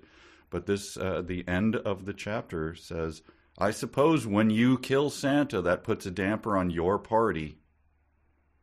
Okay, we just my party when you You kill killed? Sound? I didn't kill Santa. When I suppose when you kill Santa, that puts a damper on your party. Ah, I uh, unforced error. I mean, I, I, I felt figured that was sort of funny, like, but uh, yeah, the the change of tense makes it very It's confusing. Just, it's very strange when someone does that. Or a confession. Yeah, you killed Santa. Okay. Greased up the floor, knowing he'd slip on it with his support hose. um, well, that she pretty much says. Um, the pianist had stopped playing. I asked everybody, please hang around for a while until Sheriff Grayson arrives.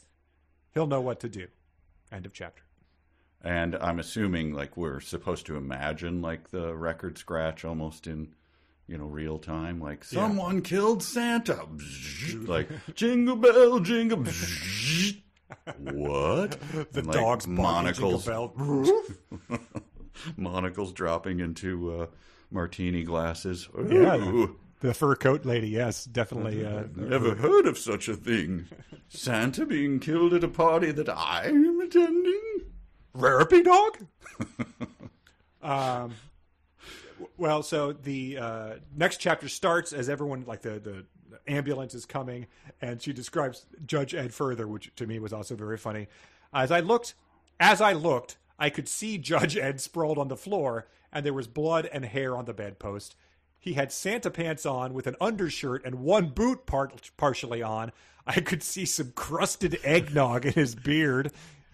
He looked like he was getting ready to deliver presents to all the good little boys and girls. He hopefully had a few more steps before he was going to do that. He hopefully was going to sponge some of that out of his beard and maybe put on a shirt. He was looked like he was ready. I love how this guy gets treated in posthumously, like ah, got a pool of blood growing around his head, and then like his crusty beard crusted with eggnog, Yeah. no shirt on. Yeah. Stink lines coming out of his armpits.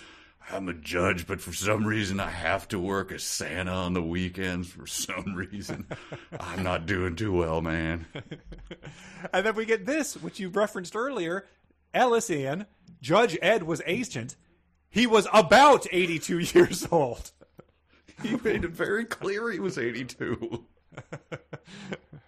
So that's a uh, another another trope of our, our authors: needlessly ambiguous specificity. Did something nefarious happen? Did Santa get into a tussle? tussle? A dust up. you call that a tussle when he's lying there in a pool of his own blood, caked with eggnog on his beard? Must have been a Donnybrook. Oh, that they really got some fisticuffs going in here. Um, and then the sheriff shows up, and this is you know Hallmark moment number five probably. Sheriff Ken Grayson, uh, who she had previously not met somehow. Uh, wow, he is cute. Dark wavy hair, broad shoulders, sultry eyes, steamy hot. Wait, uh, I can't be thinking like this. Santa is lying here dead. This is not the time or place. So hot law enforcement is also the uh, that's usually the blue collar guy that our uh, you know fashion line CEO falls in love with when she moves back home, right? It's him, Yeah, just a yeah. you know a construction guy or something. Yeah, he you know drives up in his uh, F one fifty and looks like you got stuck in the ditch. oh my! Sorry, I I've never changed one of these before. I really should have learned. Yeah, I went. I was trying to be a musician, and then I went to Nashville, but I moved back home to the hacienda. Oh, I take care of rescue dogs, and I visit the uh, children at. Oh, And he's driving her. You know, one time, uh, me and Johnny, Johnny Cash, uh, oh Nashville, God, God dang, damn it. son of a. But Um, the- she says this is a, a weird thing. These so and we all know how and works, right? Sure. Finally, the sheriff came through the bedroom door. I had not previously met him, and he introduced himself as Sheriff Ken Grayson. What is that sentence construction? I hadn't noticed that. And so those two things happened. I had So- not previously met him, and he introduced himself. I Ah, guess it works, hate- but yeah, it's so. He, so to- he introduced himself. I hate to nitpick. I, it's just No, you're funny. a writer. You're supposed start to be a notice writer. But the judge has no. eh, Judge has something going on here. It's very bizarre. He because the the doctor has already done the pulse on the neck and shakes his head solemnly. But uh, judge, uh, sorry, the sheriff looked over the scene and without further ado stated, "This looks like an accident. Judge Ed was old after all, and seniors tend to fall a lot. No foul play here. I'm pretty sure Ed lost his balance." Plus, I can tell he's had quite a bit to drink. I guess that's from all the eggnog crusted in his beard. Is is eggnog the thing you again? you want to really get a bender going because you're gonna have to put up with his little brat. So you like slam the eggnog. I mean, I you know you've probably put on a Santa suit to entertain youngsters. It's you know uh, you probably want to have a few to to you know make it a little more tolerable. Just throw a flask in your coat pocket. I don't think you need to start slamming the people's eggnog at the place. How God, crusty I, was the beard? I hope they have some eggnog there because I got to tie one on before this. I think the more logical reaction would be like, is that in his beard eggnog? My God, I'm in shirts and t-shirt and shorts. It's so hot. Iced tea. Look, Uncle Kidd doesn't even have any pants on at all. He's wearing a speedo. Um, Sonic challenge for you. Okay.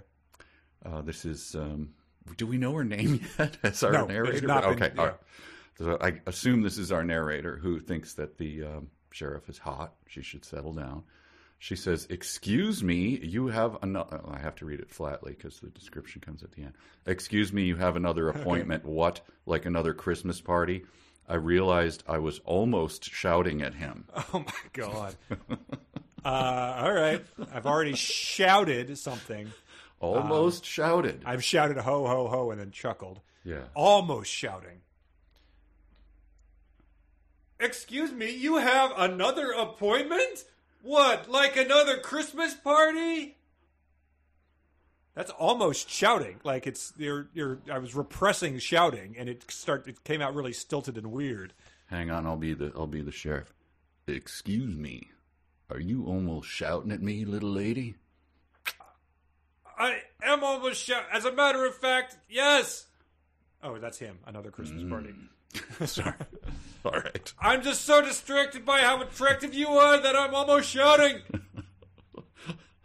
His behavior infuriated me. Again, who's me? No amount of cute scare quotes could excuse that.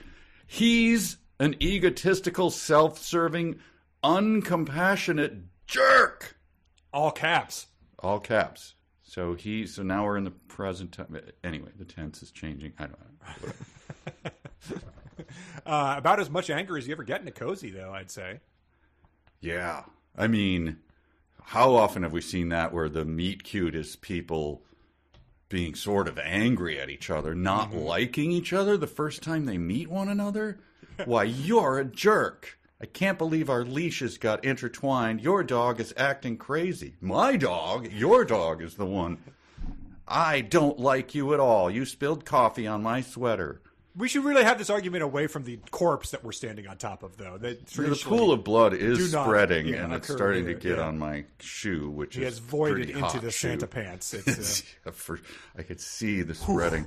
He looks like Santa in Santa and the Ice Cream Bunny. There's actual feces caked Marks. on his drawers. Oh, all right. Oh, okay. Well, she goes and tells everybody that um, the, the the Santa is dead, Judge Ed Simpson is dead, and that it's been ruled an accident, and pretty much tells everybody to go home. They load the coroner loads them onto the corpse, and uh, that uh, Simon says like, a lot of our guests said they had seen Ed drink several cups of eggnog, so maybe he was a little tipsy. So they're just like, What were they going in the back room and looking at Ed for? Or was he wandering around the party? Uh, he was out there, and then he went back to change into the Oh. Santa suit. He was like just he was Oh, he was just being a judge. Yeah, yeah. He was just Okay. hanging out, and then he was going to go and I guess surprise everybody. He's like, I go back to what's the chick's name? Who's oh, we don't know that yet. Okay, I gotta go back because I gotta replace all of her under things and then get Yeah, my, put it back. my my pants on. Do I have I've got anything in my beard? Yeah, you have quite a bit. Well, I'll take care of it in a minute. That I'll wipe it out with one of her bras. That's it should be fine. Uh, but then to end the chapter, Uncle Kidd oh hell yeah, brings the cozy. Texas wisdom. Uncle Kidd started to leave and then said, It doesn't take a genius to spot a goat in a flock of sheep. so maybe a little shut eye will open our eyes to see what's in front of us. And on that note, I'll see you manana. Good night. Uncle Kidd. Uncle Kidd rules, yes, especially Oh. knowing that he is Sam Elliott. I he hasn't really been talking like that the whole way, but No, all of a sudden he laying it on steps into thick, the a crime scene. Like he's been at the hacienda his whole life, but somehow is like the wisest. Like, well, it don't take nothing to see that. Uh, like you lived in that little corner room over there for sixty five years. Yeah, you- You've you- got no life wisdom at all. Yeah. You're one of those guys who's like, I don't like what I heard about what's going on down in the big city, so going to a, a Cowboys game that seems like a good way to get carjacked. I'm not going to be going down there. I don't. Uh, you know that those uh, chemtrails. You're saying. all right, Uncle Kidd. Come on, man. It don't take a genius to spot a goat in a chlorina- uh, fluoridated water. That's why I drink only from the well.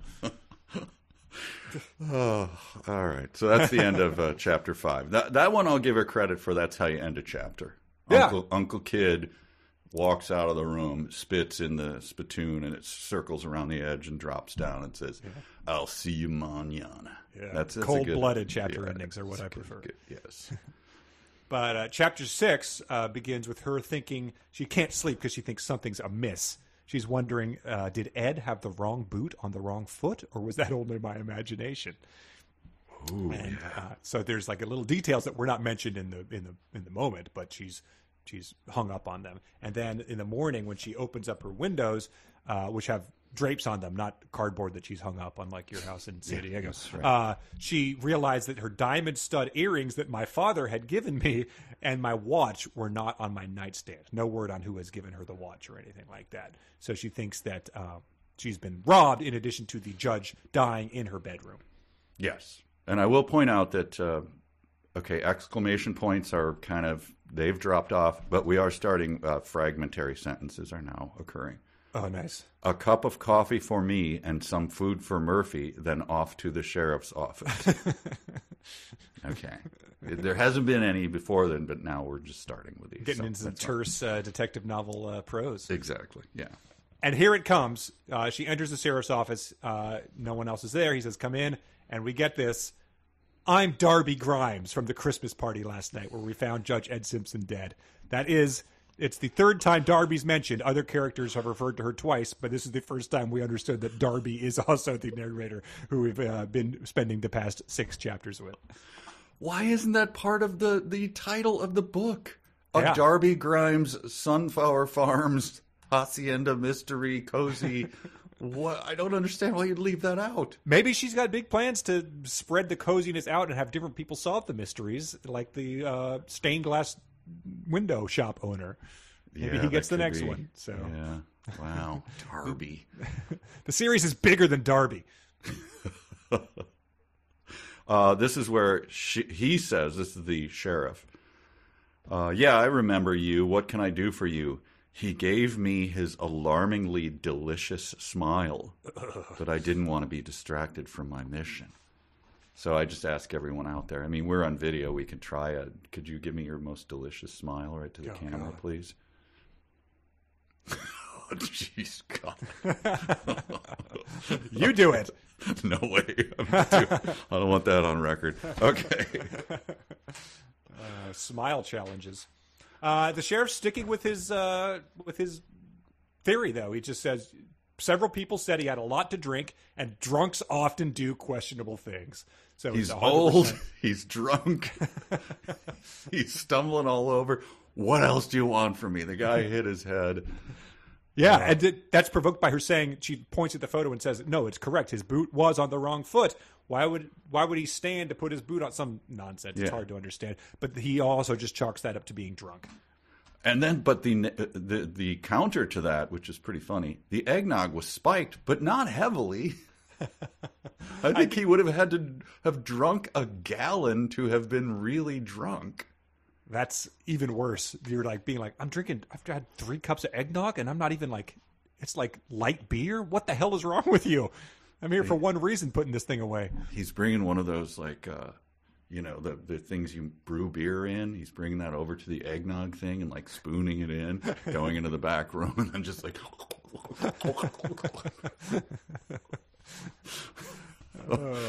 um, Sonic challenge for you. All right, This one's tough. great. Oh, we we both have They've to do this. tough. We both have to do this. Oh, okay, great. can- Yep. Both aunts chime. She's left. She's left the police station irritated, Yes. and she's returned back to uh, discuss with everyone about what happened last night. Yes, she. Uh, yes, she's irritated. He's so cute, but he won't listen. To, he, he won't hear anything. Yeah. Um, both. So she comes back and expresses her frustration. And here's the Sonic challenge. Do you have it there? Both aunts Yep. chimed in at the same time. Yes. In response to, I'm not convinced that Ed's death was an accident. Okay, here we go. Neither, Neither are, are we. we. But, But we, we don't, don't know how, how else, else to explain, explain what, what happened. We need to review, to review this, this list of people who were, here for the party as if they were suspects of a murder.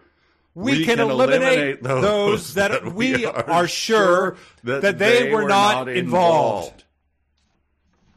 And she just looks at her aunts and wearing their skirts and stuff like, I gotta get me some of those gummies. And uh, and then it says immediately some people were ruled out because they arrived after the time of de- Ed's death.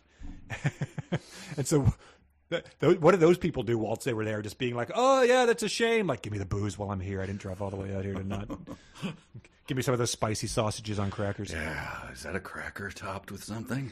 what do they call those? If only there were a name. Oh well. Um, I, I want to um, I want to read you something, and then you react to it like a normal human human would. But I'm just going to keep going because this is how it goes. Uncle Kidd said, "I saw Mrs. Reynolds talking." Or should I say, flirting with the bartender just before the time. And then I saw her get that big fur coat of hers, and she left out the front door. Okay, um, that's that sounds. Why does anyone need a big fur coat in Texas when it's 70 degrees outside? Well, I mean, it's an important question, but don't However, I don't recall seeing Pastor Reed. Well, we weren't talking about him. Let's just go back to Mrs. Reynolds. Possibly he had already left, Well, who cares though? and that Mrs. was their Re- plan. who plan? What to are we talking? leave separately so no one would figure out their little meetup later. Okay, do you know anything? Do You said we I don't, 'cause you heard that Pastor Reed would take up with any hound that would hunt. We Well, all that's- snickered a little. Okay, I wasn't going to snicker. I was going to be like, "Why did you bury the lead here?" and save the fact that they may be uh, getting busy for the end of your sentence, your of your of your monologue. Uh, Uncle Kidd said all of that? Any hound, any hound that would hunt. yeah, that's right. That's So he's- I heard. Aunt Lindy. I mean, so they're you know they're trying to solve a murder. They're they're going through their own recollections here, their eyewitness recollections, those things that are notoriously holed up in court and are, are Yeah, his, reliable. his blood, by the way, is drying on her bedroom floor, right? yes, they're never getting it out. Uh, but they're they're trying to see like who was there and all this stuff. But Aunt Lindy has an impish grin on her face and said, "I heard some gossip that Pastor Reed has been seeing a lot of Miss Lorraine Reynolds." So implying that they're banging. The affair from the A Killer Christmas affair, I will admit, and it is my great shame that that did not occur to me until this morning when I was reviewing um, notes for this. Wait, what didn't occur to you? The Killer Christmas affair. Oh, an affair. Yes, I thought the affair was that someone was killed. Yeah, I, I so I, didn't I was like, that. oh, well, they're setting this up as being a, an affair. Um, By the way, But- I, I will do an impish grin since you did a delicious smile. oh, thank you. So I'll do an impish grin. Oh my god, also bad, also bad. Not good. no, it's not good at all. Oh, this is going to ruin us. This Uh, video We're thing. doomed. We're doomed. Uh, so they go on to describe. Uh, Aunt Lindy says, "I don't know if she's still grinning impishly. Um, oh, he's a hound dog, all right." Uh, but I really can't see him physically hurting anyone. However, consider what would happen if someone found out Pastor Reed was having an affair. He's a married man. He he'd lose his job, and probably the church would end his ordination. He'd lose his wife, his reputation, and Lorraine Lorraine Reynolds' marriage would be at stake. Plus, she would be ashamed of her behavior. All bad news, but what purpose would killing Ed serve? It makes little sense. Yeah, unless you've seen Lorraine's Hubahungas, how? Woo! But- I said, you're right. Again, people talk in extraordinary length with other people just sitting there, like hanging on their Also, words. like, are are you done? Should I keep? You're right, but we can't eliminate anyone. You just eliminated a bunch of people. Several That's people who- exactly what you're there to do. uh, so that that confused me. But now that we know who I said means, it's good. I can relax Good, a little bit. it is like Darbie. "Oof, Darbie. Okay, that's the I. they go to uh, discuss Paul Turner, the developer, um, and they describe him as a slimy devil. He was drinking one cup of eggnog after another. He came up to the table, and I caught him double dipping his cup in the punch bowl. I shouldn't, I couldn't believe it, and he looked at me and grinned sheepishly. I gave him that "you should be ashamed of yourself" look. Uh, so that's how uh, that, that's how low this how low of a snake this guy is. Is he He's double dips his slimy devil. So Aunt Lucy laughed sarcastically. yeah. Uh, I'll give you. I'll give you that one. You do that, please. uh, and then um, looked at me and grinned sheepishly.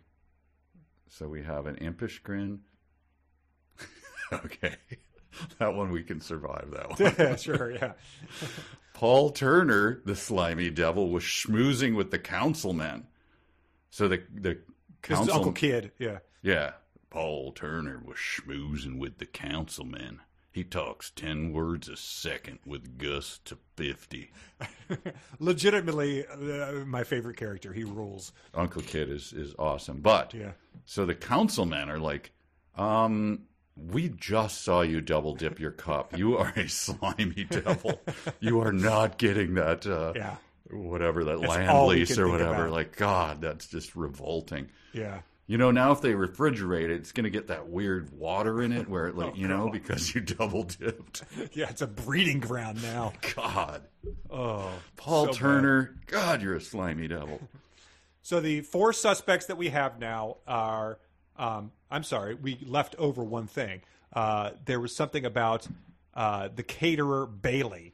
Because Aunt Lucy remembered seeing the caterer guy Bailey coming up the hall just at that time, but I assumed he had gone to the restroom. So our suspects are Paul Turner, the slimy devil developer, Pastor Reed, uh, the redhead with the fur coat, Lorraine Reynolds, and then the caterer Bailey. Yes. And so they've gone through the list. Marisol looked at her list and shook her head in agreement. But other than that, I think the party was great, I said, and everyone laughed. A man is dead and we're ruined. a man with no shirt on and Santa pants died in my bedroom. It's it's all anyone will ever associate with our new motel, business, bakery, and gem store. I think everything's going really well. Oh. the piano player's like, um, I didn't play for the whole night, but you still owe me. That's our Yes, contract. right. So could I get my check right now, please? We're still laughing over the death. Could you come back? All right. And then chapter seven is the last one that we're covering today. Um, it has some great stuff in it. Uh, Really great stuff. Yeah.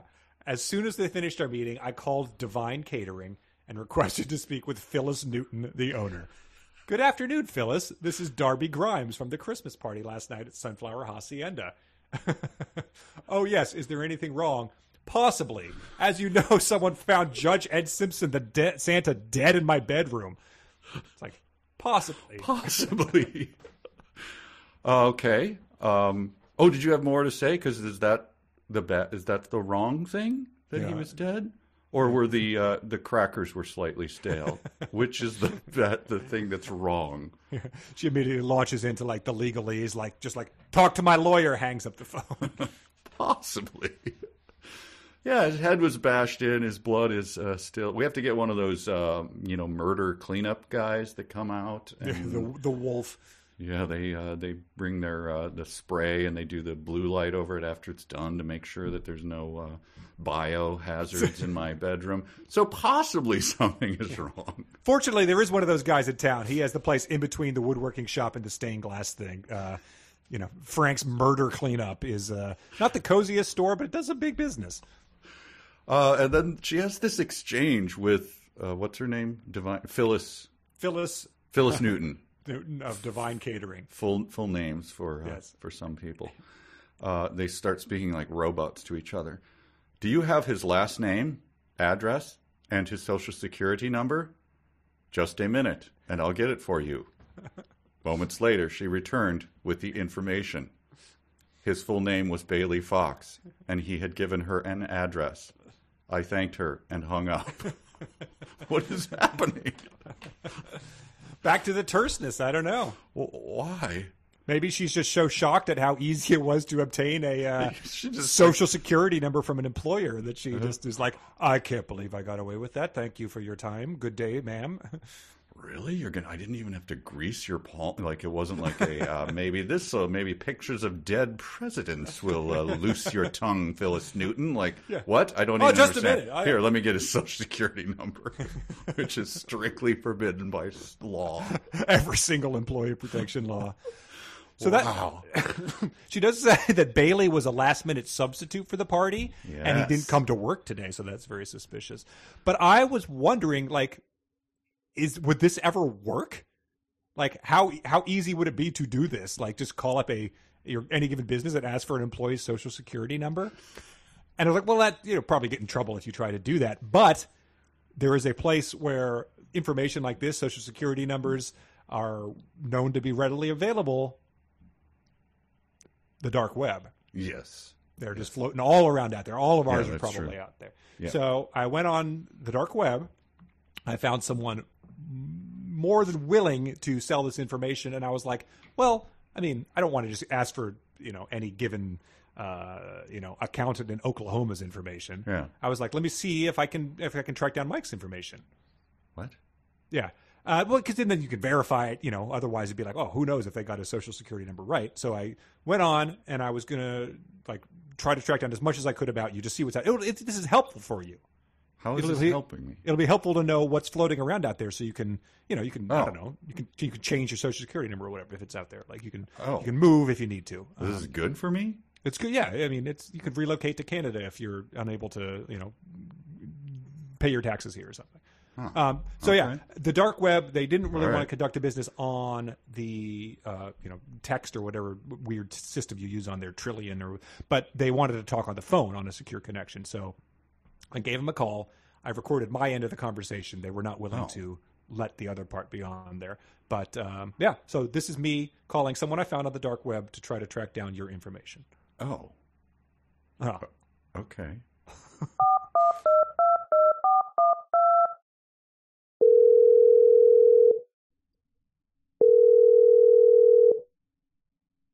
Hey, Brit, how you doing? Yeah, we're good. How's everything in Minnesota? You guys get any snow yet? Uh huh. Uh huh. Uh-huh. Yeah, yeah. Look, look. Before you get into any of that, um, what's Mike's social security number? Oh, hang on. Let me get a pen. Six four three. Uh huh. Uh-huh. Wait. O two or two O? Two O. Got it. Okay. well, thanks. That saved me like thirty bucks in Bitcoin. While I've got you here, though, uh, do you know his mother's maiden name? Awesome. Uh, what about his first pet? it's a funny name for a guinea pig. Uh, what about his blood type? No, no, no, no, no, don't, don't, don't go asking. God, she's gonna blow this whole thing.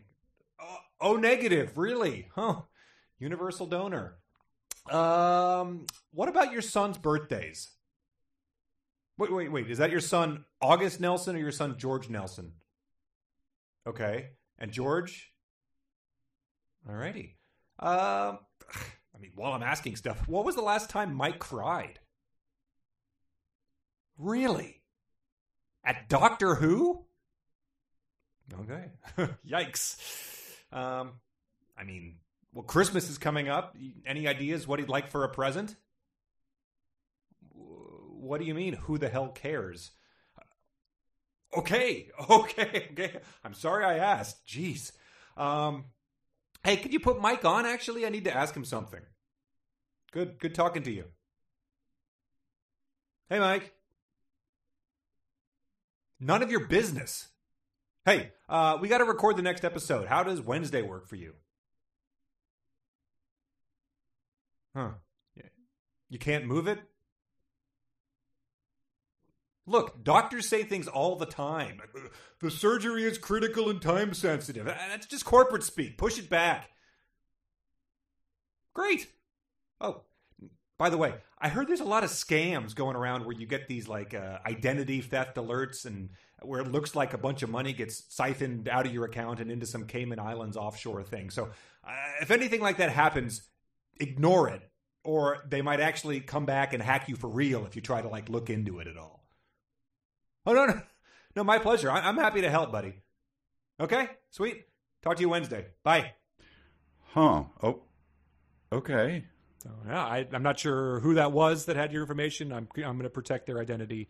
It's Oh, but like you might protect wanna- their. ident- you might want to take some uh, take some precautions because Oh. stuff about there is out you know out there now for you. Jeez, I, I just freed that Nigerian prince. And Oh, now that could have this. been where it leaked to. Yeah. Uh, Oh dear. yeah. Huh. Well, sorry, yeah. can we? Re- well, we got a, chapter to do. now? Yeah, we got to keep moving. We got to do a chapter. Otherwise, I was going to hit the phones and start.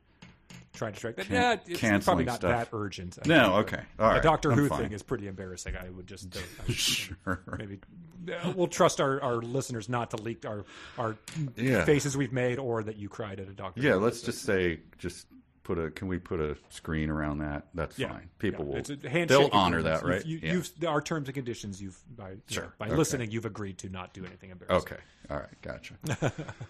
Uh, wow. All right. So yeah, they uh, Marisol happens to be a whiz on the computer because she was a former reporter for Texas Living magazine, and uh, she ran a com- ran a computer search, and within minutes they found Bailey Fox had a criminal history of theft. Bailey Fox. Where are we getting these? Uh, getting into like Star Trek or Star Wars territory. with Right? Yeah. Bailey Kit, Fox. Kit Fisto and uh, Sleaze Bagano. Um, and then she says, Do you think he was in my room trying to steal my jewelry and Ed interrupted or surprised him? Maybe he pushed Ed while trying to escape. I think we can assume he stole the jewelry. And this is when it occurred to me check the six security cameras you had mentioned here, like, you know, that you spent the first You spent second a long time talking about them. uploading apps and checking, setting up notifications on them. And they do. They a few sentences later, like, oh, we should be able to check the security camera recordings. But it's it's a funny thing to not have thought of in the moment, uh, at, right after the murder took place, and you know, see if anyone was fleeing, uh, type of thing. Uh, Uh, but we so she's bothering this the guy with the delicious smile, um, which you gave an example of. Thank you, Sheriff That- that Grayson, was- yes, yeah, it was very delicious. Could- Uh, all of a sudden, like we we heard the robotic dialogue between the people, right, with social security numbers and all of that, And then all of a sudden it stops. Sheriff Grayson said he would come right over after I told him about Bailey.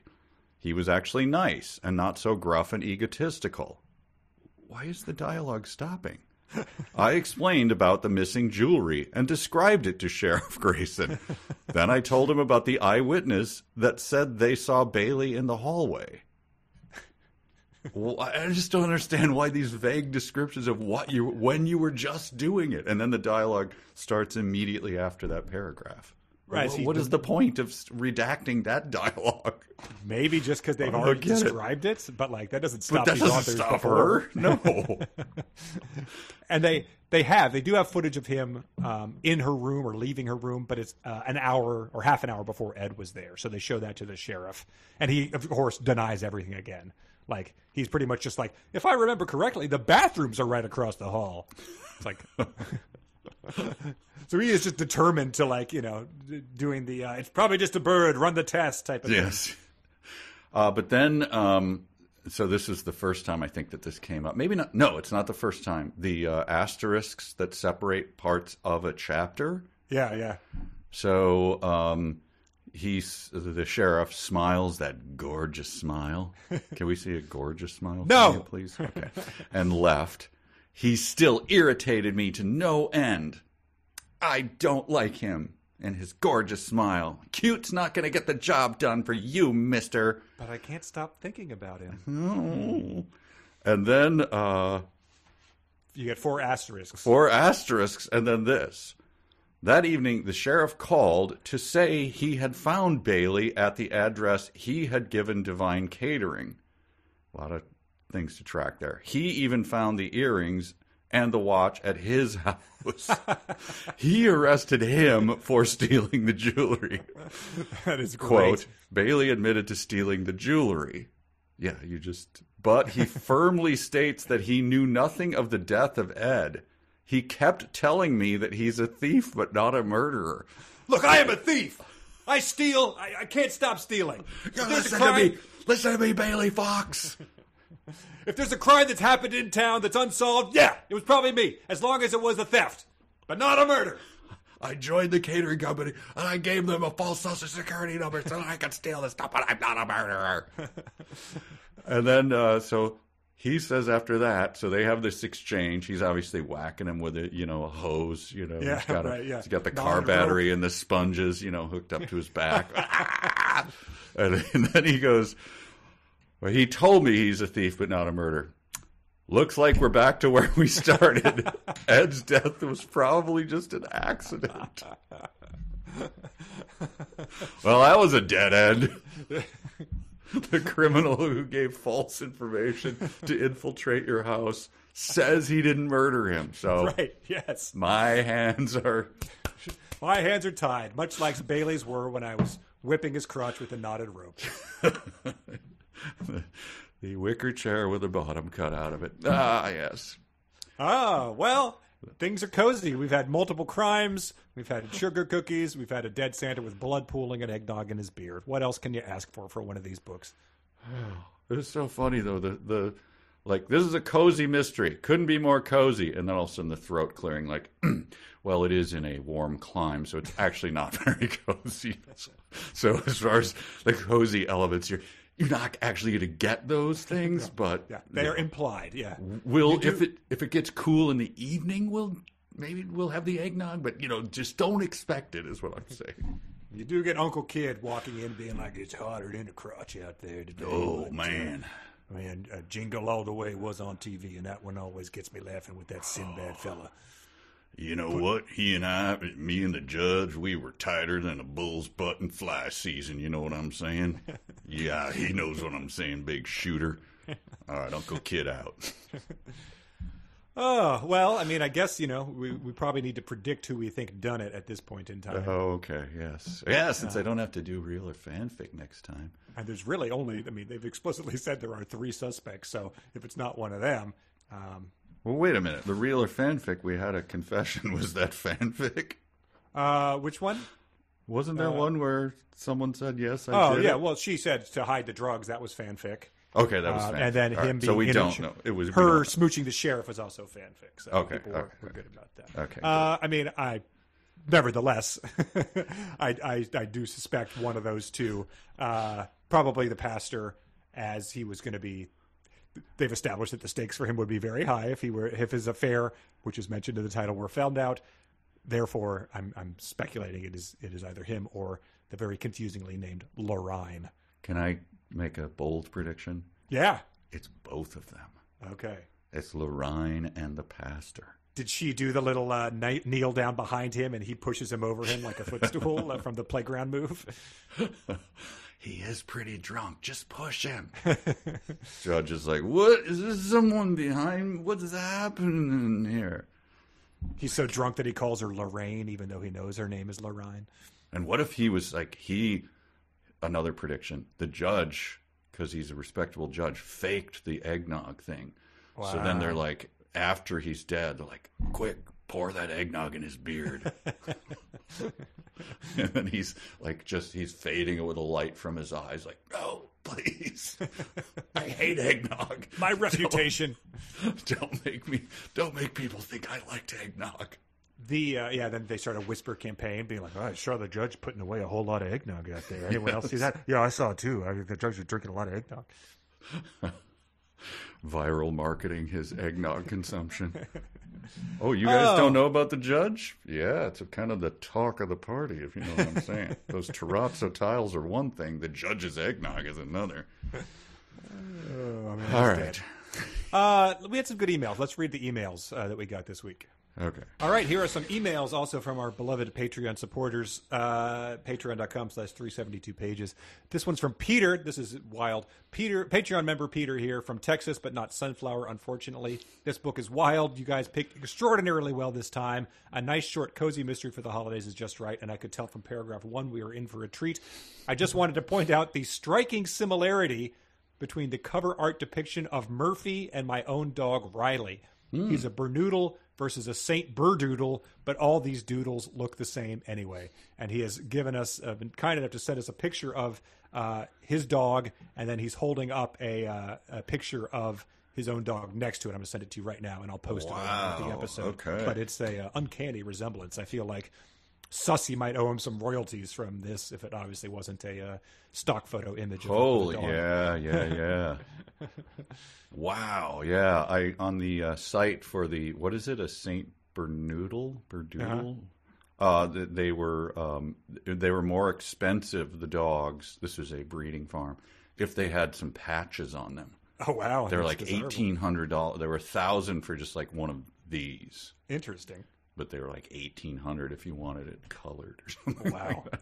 so weird, Various, handcrafted. uh, refractor uh, card version, the uh, Yes. the metal Charizard Pokemon card. Uh, here is one from Kate. Uh, this is uh, related to our last book. I was just watching the RiffTrax movie. I believe in Santa Claus. Which, as you may remember, is pretty nuts and has some major Larry and Denise energy. It's the one with Santa and the ogre and the fairy and the Oh, the crying French business. one, the French Canadian or French? Yes, uh, yeah. I think so. Stop all your crying business. yeah, yeah. Stop all your crying business. But what really struck me this time was the little boy trying to get his parents back from being held hostage in Africa. Mm-hmm. This is a Christmas movie if you haven't seen it. Um, the fairy asks him, Your ma- papa and mama, where are they? The boy says, In Africa. She says, Of course, but where in Africa? He just says, Just Africa. And that's the end of the scene. It's around the 32 minute mark. So now I'm imagining that's what Larry said every time anyone questioned him about geography. Just Africa. I don't remember that. But No, it's amazing. I've got to take another look. It, uh, if I watch it, it's going to be for that moment and not for the fairy for the fairy queen. for the Um, fairy. She's yeah. uh, that was from Kate. This one's from Vince. It's also related to the Ellises. Over my post Thanksgiving vacation, I decided to take the plunge and purchase this book. Um, what is it called? Oh, it's the book um, that Denise wrote under her other name. Uh, it's called like Sex uh, Confessions of a Cheater or something. Oh no. so he bought it. He says, "Yes, I am a true 372 sicko. I had concerns this would turn out to be a true story, one that would forever erase from my mind the vision of the Ellises as a dysfunctional but loving sitcom couple. Fortunately, it is a work of fiction, a four, a four chapter anthology in which different women recount their experiences with husbands who are, in order, verbally abusive, a serial philanderer, a drunken spousal abuser, and an internet porn addict. These are, of course, very serious subjects, and I have no doubt D aka Denise, was trying her hardest to make a book an inspiration to women trapped in abusive marriages, but it's also so undeniably Ellis that I can't imagine anyone finding comfort in it. It's essentially Antigua or the teen archaeologists with sex, graphic violence, and vulgar language. Oh, Most of the Ellis televisions we've come to love are featured heavily lists of names such as Mitch's best friends Willie, Bubba, Antoine, and Quandel. Constant bickering, like Wanda, you're a hot mess. Charlotte said sarcastically, "Damn, you're such a whore," and even the use of the word non-caringly. The women who narrate each chapter appear to have some type of omniscience as they frequently recount conversations and events they were not present for, including in one instance the brutal shotgun murder of the narrator's own father, which she then hastens to mention remains unsolved, sort of like the accident in this book. Uh, fortunately, all four of our protagonists find a way to escape their abusive relationship with the help of God and encourage each other in others in their circumstances to do the same. He says, I can't recommend the novel, but if you laugh at the thought of the woman who brought you Charlie the octopus and Nero the Mopek child writing things like stink whore and fat slut, or describing a five year old girl marching about the house chanting, Mommy is the worthless piece of shit, you might want to check it out. Uh, in closing, there are very few, if other, teenagers in this book. I don't know if that tips the scales any way or another.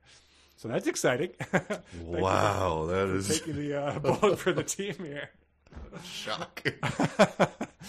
Uh, I don't know. I think I'll leave that one. I don't think I ever want to see. it. Yeah, it I- might I diminish their now, yeah. in their in their eyes. Uh, it's more of a lifetime than a Hallmark book, I guess. Yes. This is from Jeffrey. He's has finished this book that we're reading, uh, and was per- I finished this book and was per- perusing the extensive also by section at the back. Like if you're reading the ebook, that's uh, like the last you know ten percent of the book is like descriptions for other books. When I came across this absolute gem, Pink Blue Bonnets, the first book in the Gristmill series. For fans of small town mystery comes a Christian fiction novel about five retired friends who are pulled from retirement to confront the sinister shadow world where they, they become the target of a sex trafficking syndicate. And then Jeffrey writes in all caps, "Why the hell are we aren't we reading The Golden Girls Meet Bleriana?" He says, "Needless to say, this book has rocketed to the top of my reading list. I'll report back." And then he sent another email as he started reading. The book begins with the main character leading a group on a tour of a grist mill and the surrounding town. You get every single word of the tour speech. It's amazing. So, Wow. Oh, wait. So I'm I uh, scrolled down to it okay, because I didn't see anything from the books. Trust me, I did not. okay, good. Phew. Uh, Pink Blue Bonnets. That's That's it? this one, the first Yeah, book in the the, first Grist book. Mill series. excerpt. Okay, there's the excerpt. Okay. wow, that's pretty amazing. So yeah, I'm glad that we're we're providing her with uh, grist for her own mill in terms of being able to write more of these books. Right now, there are three books in the Grist Mill series, so that's Secrets of the Carousel. Okay, a story of strong, courageous friends pursuing their Texas roots. Found a long journey home. The third book in the Gristmill series is the continuing saga of the story of the power of friendship. A newcomer arrives in Gristmill, Texas. She brings a challenge to the status quo, and she's searching for a past and a family she never knew. I'm just going to read the, the next sentence. Kelly and Jesse and some more of their sassy senior friends are back. Oh, sassy! Oh, these ones have, uh, yeah, the interesting looking covers. Secrets of the Ooh, Carousel all in particular. wait, all caps. They are replacing him with a new pastor. A woman pastor. the pastor is a woman. wow. D- uh, Donald Sobel uh, nods in approval. You blew my mind. All right. Well, there's uh, encouraging things in the author's uh, bibliography then. Yeah, that's good. Uh, that's it for emails. Let's do dumb sentences. Dumb sentences submitted by our listeners. This one's first one's from Brian.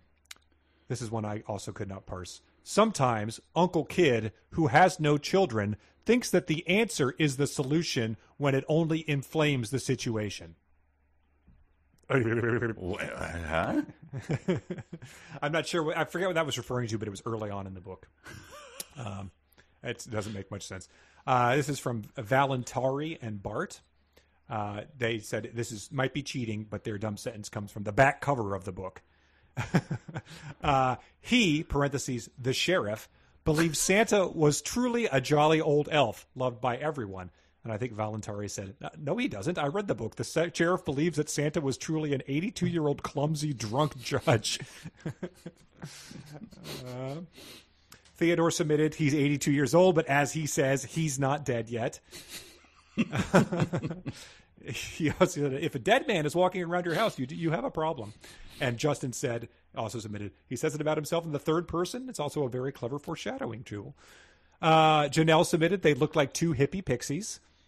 Uh, Jennifer submitted, Douglas, since you are our security person and handyman, we need you to check out our security cameras and get the app set up with Darbie's phone. Uh, Craig submitted, Uncle Kidd never moved away, but my mother, Aunt Lucy, and Marisol's mother, Aunt Lindy, moved to Austin and went to the University of Texas and raised their family. Presumably, Jim Dalen was involved in that. Um, Loki, some if anyone has a solution to that, that's like the uh, the fox, the grain, and the thing puzzle, right? yes, like, wait, well, you moved to Texas yep. With three people, but you bring the thing back to the hacienda, then you take the two, you know. It's Yeah, like my mother. so- Where is she? She's never. I don't know if she's ever mentioned again. Hopefully, we get her. Maybe she comes back to town at the end of it to help her solve it. Wow. Uh, Loki submitted. Do you have his last name, address, and his social security number? And also pointed out that uh, that of course is completely illegal. Jenny and Elliot pointed out, uh, yes. But Divine Catering said he didn't show up to work today, and they gave me his full name, Bailey Fox, along with his address and social security number he gave them when he went to work for them. uh, Jan submitted. This was preceded by boom pop, but just submitted silence. they're curious what that sounds like with an exclamation mark. Uh, Todd submitted. This is again comes. There's probably some context required, but speculated Uncle Kidd. That, that was a second sentence in the book. uh, Hayden submitted from around, sorry, from about 30 minutes prior to Ed's death, I was outside on the patio and around the Yule log. And he said, around it? Like a snake? like, uh, Mandy submitted, children were already peeking inside, anxious to get started. And she says, I know we hate to make fun of FIPOs, but peeking is spelled The wrong P A K. Yeah. yeah, She imagined the kids all twitchy and anxious because they were super high. Uh, Amanda submitted one of you that you pointed out. Did Santa get into a tussle? uh, Jeffrey submitted. Okay, this is it. Uh, just then, J- Janet Crosby, hands in the air, came running from the hallway, rushed into the gathering room, and screamed, "I think Santa is dead!" And he said it is the first and only appearance and mention of Janet Crosby in the book. Keith submitted, Judge Ed was old after all, and seniors tend to fall a lot. Mike sub- right, it's usually like one big one that does them in, you know. Mike submitted, as I looked, I could see Judge Ed sprawled on the floor and there was blood and hair on the bedpost. And Mike said, If you tell us you see something, you don't need to tell us that you were looking at it as you saw it. It's usually how this works. Uh, Heather submitted something from the dedication, dedicated to the little child's Christmas spirit in all of us. And she just said, This story has Santa cracking his head open on a bedpost with blood pooling under his body.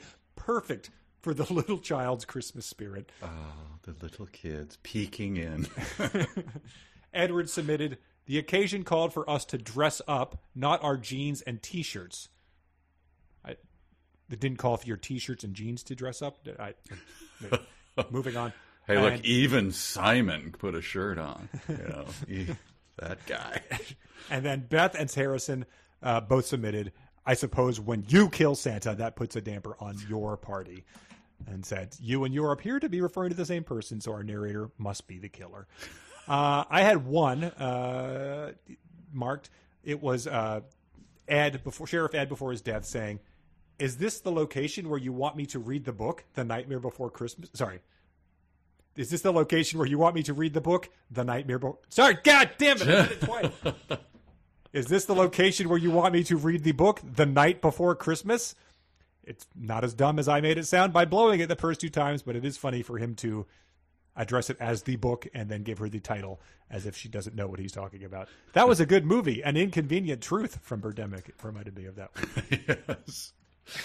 Uh, I have a. Uh, this is. I figured everything would be uh, covered, so I just thought this was funny when she goes in to argue with Sheriff Grayson, like we have the footage and all of this, and he's like, "I don't. I don't care." You know, he's Tommy Lee Jones. I don't care. she. He says, "You mean when this is context? It's just one sentence. Yeah, yeah. You mean when Ed accidentally fell and hit his head?" Said Sheriff Grayson. Whatever, I mumbled. that just struck me as funny. Like, She's a a surly tough- teen all of a so sudden. just like, whatever. Whatever. I don't even like him. Yeah, you're delicious smiling or whatever. I don't even care. God. Uh, I own Whatever I want, whatever. God. Yeah, right. All right. Ma- a cozy Napoleon Christmas. Well, let's finish it for next time. All right. Sounds good. Thanks, everybody.